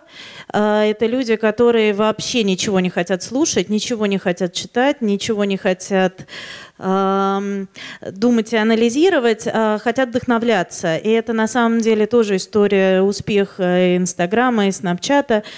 А, Не знаю, поможет ли изобретение подкастов и текстовых всяких историй с полным изменением медиа в будущем. Наверное, это тоже достаточно интересно, то, что делает Amazon и то, что делает Apple. А, Но мы все-таки пока живем в очень визуальную эпоху, а, поэтому это тоже нужно очень четко а, понимать. А, Собственно говоря, когда-то я была счастливейшим человеком. 12 лет назад я занималась одним журналом. Мне казалось, что у меня невероятное количество времени на это уходит. Вообще, кроме работы, нет в моей жизни больше ничего. С тех пор изменилось достаточно много. Аудитория журнала была полтора миллиона человек. Сейчас «Гламур» на разных каналах читает почти 6,5 миллионов человек. А у меня при этом появилось двое детей. И как-то, в общем, а, я все еще успеваю. И на самом деле вопрос в том, что мы действительно совершенно иной скоростью воспринимаем информацию и совершенно иной скоростью абсолютно мультиканально воспринимает информацию наш читатель. И, собственно говоря, ценность нас как паблишеров, вас как рекламных агентств и наших любимых, уважаемых клиентов э, в том, чтобы понять, что людям нужно и как им хочется об этом слушать, а главное, чем это может быть полезно. Вот, собственно говоря, мы сейчас э, абсолютно мультиканально доносим эту информацию, собственно говоря, в печатном журнале, на сайте, в мобильном сайте, в мессенджерах и э, в социальных сетях. Мы абсолютно везде. Более того, у нас есть огромный проект с самплингом, э, который работает очень хорошо, потому что помимо технологий есть еще классические маркетинговые инструменты, которые, в общем, действительно работают. И если ты попробуешь то, что тебе нравится, ты реально с большим удовольствием это купишь. У нас есть проект под названием Glambox, э, который для бьюти-клиентов очень хорошо работает. Они распространяют самплы и всякие приглашения на мероприятия. И э, это отличная возможность, собственно говоря, онлайн э, или принтовом медиа работать офлайн и помогать действительно повышать ROI наших клиентов. А, Собственно говоря, самые несчастные люди в этой ситуации это на самом деле не мы, не паблишеры, а это э, маркетологи и бренд-менеджеры наших клиентов, которые, собственно говоря, э, пытаются заставить вас, как рекламное агентство, искать новые инструменты. При этом э, рекламный бюджет не увеличивается, как и был 100 рублей, так и остался 100 рублей, плюс-минус, если у бренда все очень хорошо. А, И, собственно говоря, раньше были мы, телек, чуть-чуть, может быть, интернет, реклама на местах продаж. Сейчас каждый бренд должен делать огромное количество всего за все те же 100 рублей, теми же самыми двумя руками одного и того же бренд-менеджера. И на самом деле вот в этом огромная задача в том, как в том количестве коммуникаций, которые каждый бренд должен выпускать, все-таки не потерять суть, да, и вместе с грязной водой не выплеснуть младенца. Вот это на самом деле очень важно. Интересно, ребята из Coca-Cola рассказывали, что у них еще буквально три года назад они там под каждый запуск делали одно видео, э, тратили на это 50 миллионов евро, сидело, не знаю, 500 человек, очень долго думал о том, как это будет. Сейчас они за 100 тысяч евро должны сделать э, там, я не знаю, 100 тысяч разных типов контента для разных э, каналов. Э, собственно говоря, бюджет уменьшился. Нас всех стало гораздо больше. И вот как найти ту аудиторию, которая все-таки хочет об этом знать, а главное, как до нее достучаться, потому что, собственно говоря, еще год назад на всех конференциях мы все говорили про перформанс-маркетинг, и я знаю, что соседние аудитории об этом все еще много говорят. А, на самом деле сейчас, правда, нужно говорить о viewability, несмотря на то, что вот э, многие наши коллеги считают, что это не важно, а на самом деле это важно, да, все-таки действительно важно донести и посчитать количество физических людей, которые поймут и увидят твой контент, будь то нативные э, форматы или классическая реклама. Это на самом деле очень важно, но все-таки все еще основной задачей каждого маркетолога, себя уважающего, остается э, возможность создать потребность в своем товаре. То есть если мы делаем классный контент, если вы продвигаете классный продукт и продвигаете его здорово, то в конце концов человек пойдет и купит. Поэтому, в общем, масса умных слов можно вокруг этого создавать, но все-таки основную задачу точно не нужно забывать, а иногда у меня ощущение, что мы все, и мы все здесь в широком смысле, настолько ушли в подсчет цифр, что забыли, что, собственно говоря, продать молоко – это то, ради чего мы здесь все сегодня собрались. А, собственно говоря, маленький пример из журнала журнала GQ о том, э, как мы, так же как Coca-Cola, эволюционируем. Э, здесь пример э, статьи про футболиста Федора Смолова.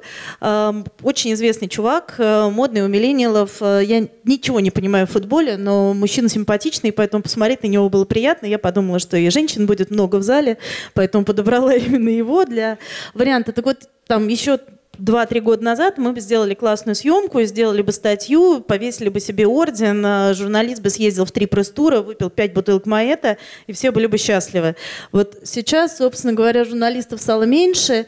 А про одного Федорова у нас вышло 18 публикаций на абсолютно всех каналах, и это, собственно говоря, ровно тот мультиканальный контент, который сейчас каждый паблишер э, издает не только для своих клиентов, но и для самих себя. Мы очень часто забываем о том, что мы не только канал распространения информации, но мы в первую очередь сами бренды. И мы агрегаторы тех самых правильных людей, которые в итоге должны покупать продукцию наших клиентов. Все с теоретической частью. Много очень было про это до меня, поэтому дальше я немножко покажу видео и покажу кейсы, которые мы делали, собственно говоря, мультиканально.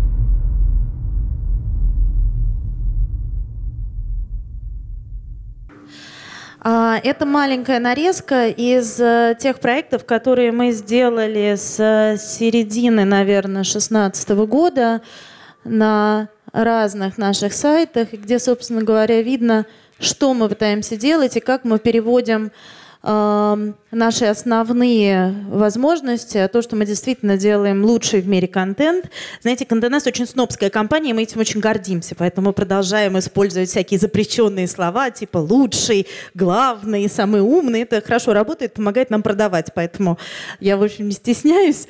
И э, контент этот мы переводим уже и в видеоформат, и в социальные медиа. И самое главное, что уровень и качество этого контента позволяет нам работать не только с брендами масс-маркета, но и с брендами э, того самого искомого Лухари, да, который все-таки э, является достаточно большим и серьезным двигателем э, в монетизации всех, э, многих, по крайней мере, площадок. И это действительно очень важно. А, Собственно говоря, это я еще расскажу, что это нарезка из тех, э, из тех роликов, из тех проектов, которые мы сделали с огромным количеством клиентов. Мы работали. Сейчас покажу, э, наверное, пару кейсов. Э, Это кейс э, для Ланком, для группы L'Oreal, которая называется «Битва блогеров Ланком», которую мы реализовывали э, на сайте журнала «Алюр». И- История, выросшая на самом деле из абсолютно маркетингового хода. Мы решили сами у себя на сайте, так как Алюр был проектом э, полностью посвященный бьюти, чуть больше работать с бьюти-инфлюенсерами и с бьюти-видео, э, и, решили, собственно говоря, их как-то агрегировать у себя на сайте. Случайно сказали об этом Ланкому, который сказал так стоять, никуда не уходить, делать только со мной. И из этого вырос проект, который э, жил на Алюре два года подряд. В этом году переезжает на Гламур. Э, В этом году он получил приз на международной конференции L'Oreal как лучший кейс среди всех брендов L'Oreal Worldwide, то есть это достаточно такая большая и серьезная история. А, и, Собственно говоря, помогает она объединить а, нашу брендовую компетенцию в том, что действительно хорошо, что правда работает, какие макияжные продукты работают. А, Кейс, собственно говоря, про макияж Ланком. Amplification всего этого проекта был у блогеров. Э, Очень много принта было задействовано, потому что это все еще на самом деле медиа, у которого самый высокий уровень доверия, по крайней мере в женской части аудитории, и без него мы никуда. И, собственно говоря, вот что у нас получилось. 82% of women believe social media drives a definition of beauty. Beauty bloggers have become a new media. They control 95% of YouTube beauty content and conversations and have a strong emotional connection with consumers and impact on purchase. Lancome has been traditionally perceived as a grown up brand for middle aged women, and it is eager to introduce itself to the millennial generation. But its earned presence on social media was very limited. In order to rejuvenate Lancome's image, we decided to integrate our brand into the heart of the beauty blogger community and do it in a very personal, native, and engaging way. Introducing Allure Battle of the Bloggers by Lancome, a six month YouTube competition show, a partnership with the world's most influential and interesting beauty magazine, Allure. 12 popular beauty bloggers have been competing over the course of six months. 24 episodes and over 80 videos using only Lancome's makeup products. Allure's YouTube channel was the core platform of the project, and we widely used contestants' channels to maximize reach. The participants were judged by a regular audience, a beauty professional, and Russia's most popular beauty blogger, Maria Way. We also created a native section on allure.ru with a wide range of articles and tips written by beauty bloggers and Allure's editorial team. The project was also brought to life offline with print publications, beauty boxes, and events. In the fall of 2016, the second season of Allure Battle of the Bloggers by Lancome was released. Eight popular YouTube beauty bloggers with a combined more than 3 million subscribers competed over a period of four months. 13 episodes and 29 videos using only Lancome's makeup products. Allure's website had been recently redesigned, so the Battle of the Bloggers had a new home where the users watched the competition and voted for their favorite contestants and also read a wide range of editorial articles and tips provided by the bloggers. This section also included profiles of the contestants and all of the materials released during the first season of the project. The Battle of the Bloggers went offline with print publications. The battle has clearly captured audiences' attention, with over five minutes spent on the project on average. The project has significantly boosted Lancome's social media presence. The episodes generated more than 5 million organic video views and more than 1 million likes. We reached amazing business results, plus 12% in brand awareness and plus 4% in brand usage among target audiences. 94% of viewers accessed additional information about Lancome on the web and in stores. The Battle of the Bloggers is a true game changer for Lancome. Надеюсь, все поняли по-английски. Извините, да, видео было действительно для международного конкурса. А, история, собственно говоря, очень простая. Самая крутая история была в том, что нативные, по сути, рекламные видео и рекламные статьи на сайте в течение трех месяцев были самыми просматриваемыми материалами в принципе на платформе. То есть вот это очень важно. Мы все боимся того, что, боже, это рекламный проект, нас сейчас затопчут, от нас сейчас все уйдут, все откажутся. На самом деле, если классный проект, если классный контент э, правильно подобран и правильным tone of voice рассказан, то на самом деле читателям это нравится, особенно если это действительно тот контент, за которым они э, пришли. И миллион лайков, это, поверьте мне, очень круто, и 5 миллионов органических просмотров, при том, что никакого фактически сидинга не было, и трафик мы не закупаем. А, и э, в общем, результаты действительно зашкаливающие. Покороче расскажу про люксовый проект э, Drive de Cartier, который делали на GQ. Э, здесь история была основная в том, что у Cartier нет разрешения брать локальных инфлюенсеров. А много уже говорили о том, что, конечно, селебы помогают привлекать аудиторию. И, э, собственно говоря, GQ здесь выступил таким маркетингово-креативным партнером. Мы договорились с Аркадием Новиковым, который абсолютно точно является опинион-лидером для большого количества людей, про него интересно читать, он сам по себе огромное количество внимания э, привлекает, он безусловный денди, и, собственно говоря, с ним было сделано э, огромное количество материалов на GQ, часть из них были брендированы Cartier, часть нет, часть материалов, собственно говоря, не содержали, мы уже говорили сегодня об этих материалах, не содержали прямого упоминания клиента, но в этот момент тут же появлялся брендинг э, CPM вокруг этих статей, по хэштегу они подтягивались, у нас сейчас все сайты липкие, все везде подтягивается, все умное, в общем, ужас какой-то. Э, огромный, огромное количество видео было снято как в России, так и во Флоренции, тоже совершенно фантастические результаты, и здесь действительно здорово, потому что паблишер может помочь э, бренду локализировать контент, а у очень большого количества клиентов с этим есть проблемы и по гайдлайнам, и по возможностям, и по рукам, которые, которые есть. Видео я, наверное, ну, я прям на секунду вам его покажу.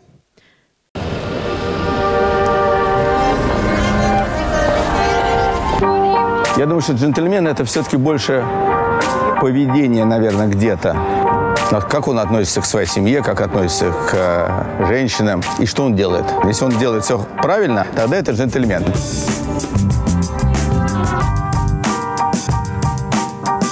В Италии я бываю очень часто, даже чаще, чем в других странах. Я очень люблю Италию. Думаю, Италия любит меня. Обожаю итальянскую природу, итальянское море, итальянскую еду.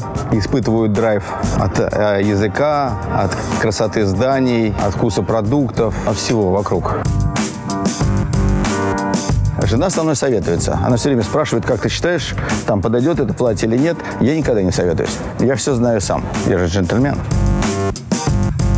Если мы куда-то выходим, конечно, естественно, мы там, понимаем, куда мы идем. Естественно, пытаемся как-то одеться, ну, не одинаково, но все равно близко.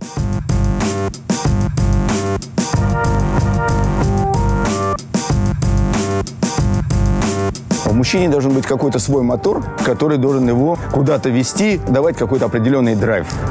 А, но семья – это тыл, это основа, это масса, это вот твоя оболочка. Но вот мотор, он сам по себе. Почему я никого не приглашаю в гости? Как вы думаете? Я люблю организовывать приемы. Во-первых, для того, чтобы была идеальная вечеринка, нужно самому иметь настроение.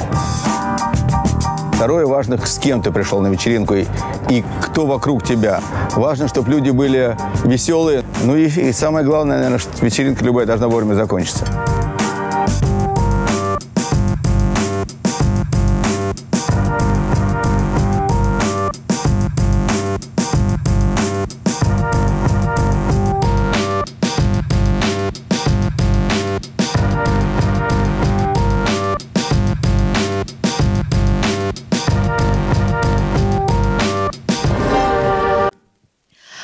На самом деле серия нативных статей, которая была с Аркадием, первый, э, одна из первых статей была «Как организовывать идеальную вечеринку», вторая «Кого туда звать», третья «Секреты тайм-менеджмента Аркадия Новикова».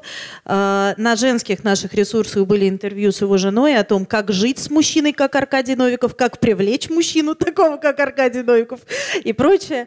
А, и я, к сожалению, не имею права по договоренностям с Картье э, раскрывать э, цифры, но охваты были очень хорошие. И, собственно говоря, действительно, еще раз напомню, что мы обязательно каждый большой проект э, делаем мультиканально, то есть каждое видео было адаптировано, и у каждого видео был тизер для всех социальных сетей, были разработаны тесты, были специально сделаны фотографии для Инстаграма, э, отдельные видео с титрами для Фейсбука, это тоже очень важные маленькие типсы. На самом деле сейчас все видео в Фейсбуке в основном смотрят без звука, очень важно, чтобы люди вообще понимали, о чем речь, потому что регулярно ты листаешь ленту, понимаешь, там длиннючее видео, кто, что, зачем, почему.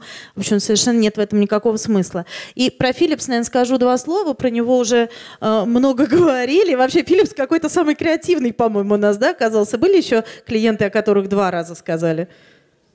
Были, да? Вот тут, мне кажется, да, был же кейс отличный про бороду, жалко, у меня тоже нет бороды. Вот, а, собственно говоря, у нас был кейс тоже два года подряд, и это особенная гордость. В шестнадцатом году мы сделали историю под названием «Энциклопедия», первая э, в Рунете энциклопедия эпиляции. И это такой хаб коммуникационный, это видео, поэтому я не успеваю уже явно под слайды. А, это информационный хаб, на который мы складывали нативные статьи, которые выходили на всех наших женских ресурсах, на Воге, на Татлере, на Гламуре и на Алюре. Так, ну ладно, вот сейчас пока я тогда вот про эту часть расскажу. А, соответственно, на, э, и были нативные баннеры, которые вели на домен третьего уровня, где весь этот контент собирался. А, отличные были результаты по посещаемости. В 2017 году клиент к нам пришел, но сказал, что ему нужно больше. И в 2017 году, помимо того, что мы делали опять нативные статьи на всех женских ресурсах, мы сделали вечеринку, а, которая собрала общий охват постов в социальных сетях почти 8 миллионов человек. Мы пригласили блогеров и звезд, которые никогда в жизни бы не пришли на вечеринку Philips, особенно без гонораров, и это тоже очень важно. И именно здесь паблишеры могут быть полезны, потому что многие опinion-лидеры хотят с нами дружить, хотят появляться на наших ресурсах, и здесь мы помогаем нашим клиентам сэкономить. 400 тысяч лайков собрали посты девочек, которые, собственно говоря, из Рица постили как не в себя, извините, э, в огромном количестве. И самое главное, что на этом же мероприятии мероприятии мы представили большое исследование. Это такой большой новый пласт работы, основанный на CRM-базах. Мы сейчас внимательно отслеживаем не только куки, но и, собственно говоря, физических людей, которые приходят к нам на сайты, покупают наши журналы или посещают наши сайты. Не спрашивайте меня, как. Инструменты пока все еще в разработке. Нет на самом деле внятных инструментов, как отслеживать э, мультиканальную аудиторию, ее пересечения, в том числе и переводить это в людей, а не, а не в куки. А, вот. Но мы сделали большое исследование, а, собрали полторы тысячи анкет о том, какое место эпиляция занимает в бьюти-рутине настоящей э, молодой женщины. И, собственно говоря, оказалось, что 98% женщин пока не нашли своего идеального а, решения этой проблемы, почти 100 процентов э, понимают, что проблема это есть.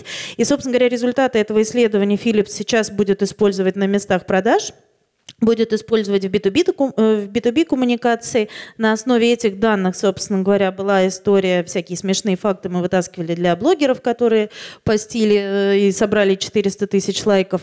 Э, и это уже такая немножко не паблишинговая работа. Да? То есть мы действительно работаем как креативное агентство для того, чтобы найти ключи к каждой аудитории нашего клиента. Опять весь материал переехал на, в нашу энциклопедию эпиляции. И, собственно говоря, вот осенью будет третий флайт этого проекта. И вот это на самом деле самая главная история, что мы фактически для каждого клиента пытаемся сделать такую очень пролонгированную историю. И клиенты остаются. Просмотров у этого проекта в целом было, по-моему, порядка двух миллионов на всех ресурсах, которые у нас были. Ну и, собственно говоря, наша основная задача – это не забывать о return on investment, но понимать, что мы как контент-провайдер и как площадка все-таки в первую очередь можем помочь клиентам создать э, постоянные, добрые и доверительные взаимоотношения с клиентом, поэтому наш такой вот мы пытаемся перевести ROI в ROR, это такой наш новый термин, которым мы как мантру сами себя монструем, что думай о том, как твой читатель будет любить твоего клиента вместо тебя. Э, и иногда это помогает. И последний слайд исключительно в поддержку того, что не дождетесь. Эм, как я уже сказала, я доисторический печатный паблишер, у которого есть боты, мультиканальное распространение контента, видео внутри. Э, у нас есть видеооператор в штате, и вообще все у нас есть, но на самом деле 18 миллионов людей в возрасте до 30 лет э, все еще читают бумажную прессу. А аудитория журнала «Glamour», например, на 3% увеличилась в этом году. Э, и тоже внутри молодой аудитории, исключительно за счет той активности в digital, которую мы делаем и сами для себя, и для наших клиентов. И эм, что будет через 5 лет, думать Сложно, странно, но есть надежда, что есть вещи, которые сохранятся. Вот э, мы, собственно говоря, бежим э, на, на пике всех э, инновационных технологий, при этом все еще очень верим в то, что действительно работает, а принт продолжает работать очень хорошо. Вот, так что не дождетесь. Спасибо вам большое. Все. Но на самом деле мы бы еще сидели. Я думаю, что так интересно. А можешь прям два слова про мессенджеры рассказать? Потому что прям вот везде эта тема звучит, пока никто не знает ни как их монетизировать, ничего ждать э, все-таки переходов на сайт или внутри расширять охват. Вот Но мы на самом деле очень... Номер один.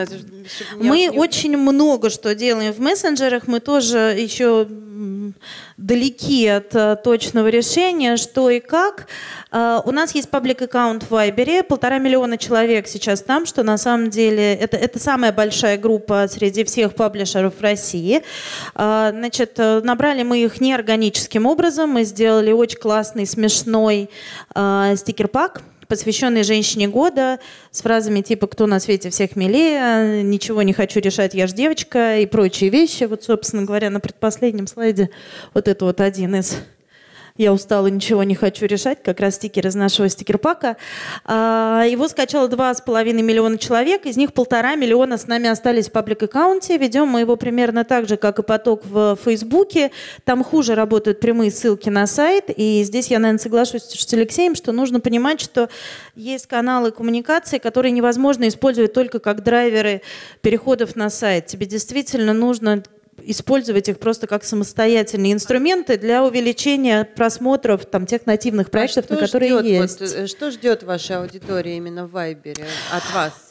А, от нас ждут максимально регулярных игровых всяких вещей, потому что мы много всего тестируем, мы тоже не знаем до конца, что там работает. Значит, что работает точно хорошо? Вещи типа «пять лучших платьев, проголосуй, какое тебе нравится». Сразу огромное количество. Вещи типа «доброе утро, чтобы утро было добрым, вот тебе чашечка кофе в виде гифки». При этом с точки зрения монетизации чашечка кофе может быть нарисована нашим прекрасным арт-директором и иметь некое довольно вариантное брендирование брендирования. Если вы при этом получили, например, а это совершенно реально, в, на нашем паблик-аккаунте, по крайней мере, получили полторы-две тысячи лайков на эту чашечку, то это, в общем, равноценно э, статье на довольно внятных и больших проектах. Этим тоже можно э, делиться. Э, у нас сейчас грядет довольно большой проект с e-commerce, не буду называть каким, с люксовым e-commerce в России, где мы будем ежедневно э, делать обзор Э, лучших вещей с промокодами, соответственно, которым тоже люди могут делиться, и человек из паблик-аккаунта сможет, сможет посмотреть и воспользоваться этим. Это тоже путь монетизации. Паблик аккаунт можно брендировать, можно э, делать так же, как в Инстаграме брендированные посты. Огромное количество есть возможностей. Но на самом деле, вот хотя для нас основная история – это коммуникация с этой огромной аудиторией, у нас, например, только в Фейсбуке 300 тысяч, а в Вайбере полтора миллиона. Вроде не обращать на это внимания как-то странно. А, но при этом процент переходов на сайт, он в мессенджерах действительно значительно ниже, чем и в Инстаграме, и на Фейсбуке. Но но они есть, то есть у нас это порядка 150 тысяч переходов в день. Это, в общем, достаточно серьезный трафик, абсолютно органический, главное, от нашей лояльной аудитории. А, это большой процент и большое количество людей, нам это тоже достаточно важно. Будем смотреть. И бот у нас тоже есть. Бот позволяет получать э, информацию исключительно по э, тегу. У нас э, То есть там, я не знаю, вас интересует только бьюти, вы будете получать только новости, которые касаются бьюти. Вас интересуют селебы, вы будете получать только информацию, касающуюся селебов. И опять возвращаясь к монетизации, например, можно прекрасному бьюти-бренду какому-нибудь предложить поспонсировать и забрендировать и постоянно присутствовать контентом в фиде, посвященном только бьюти. То есть у вас там конверсия, конечно, будет несоизмеримо выше, если люди хотят об этом знать.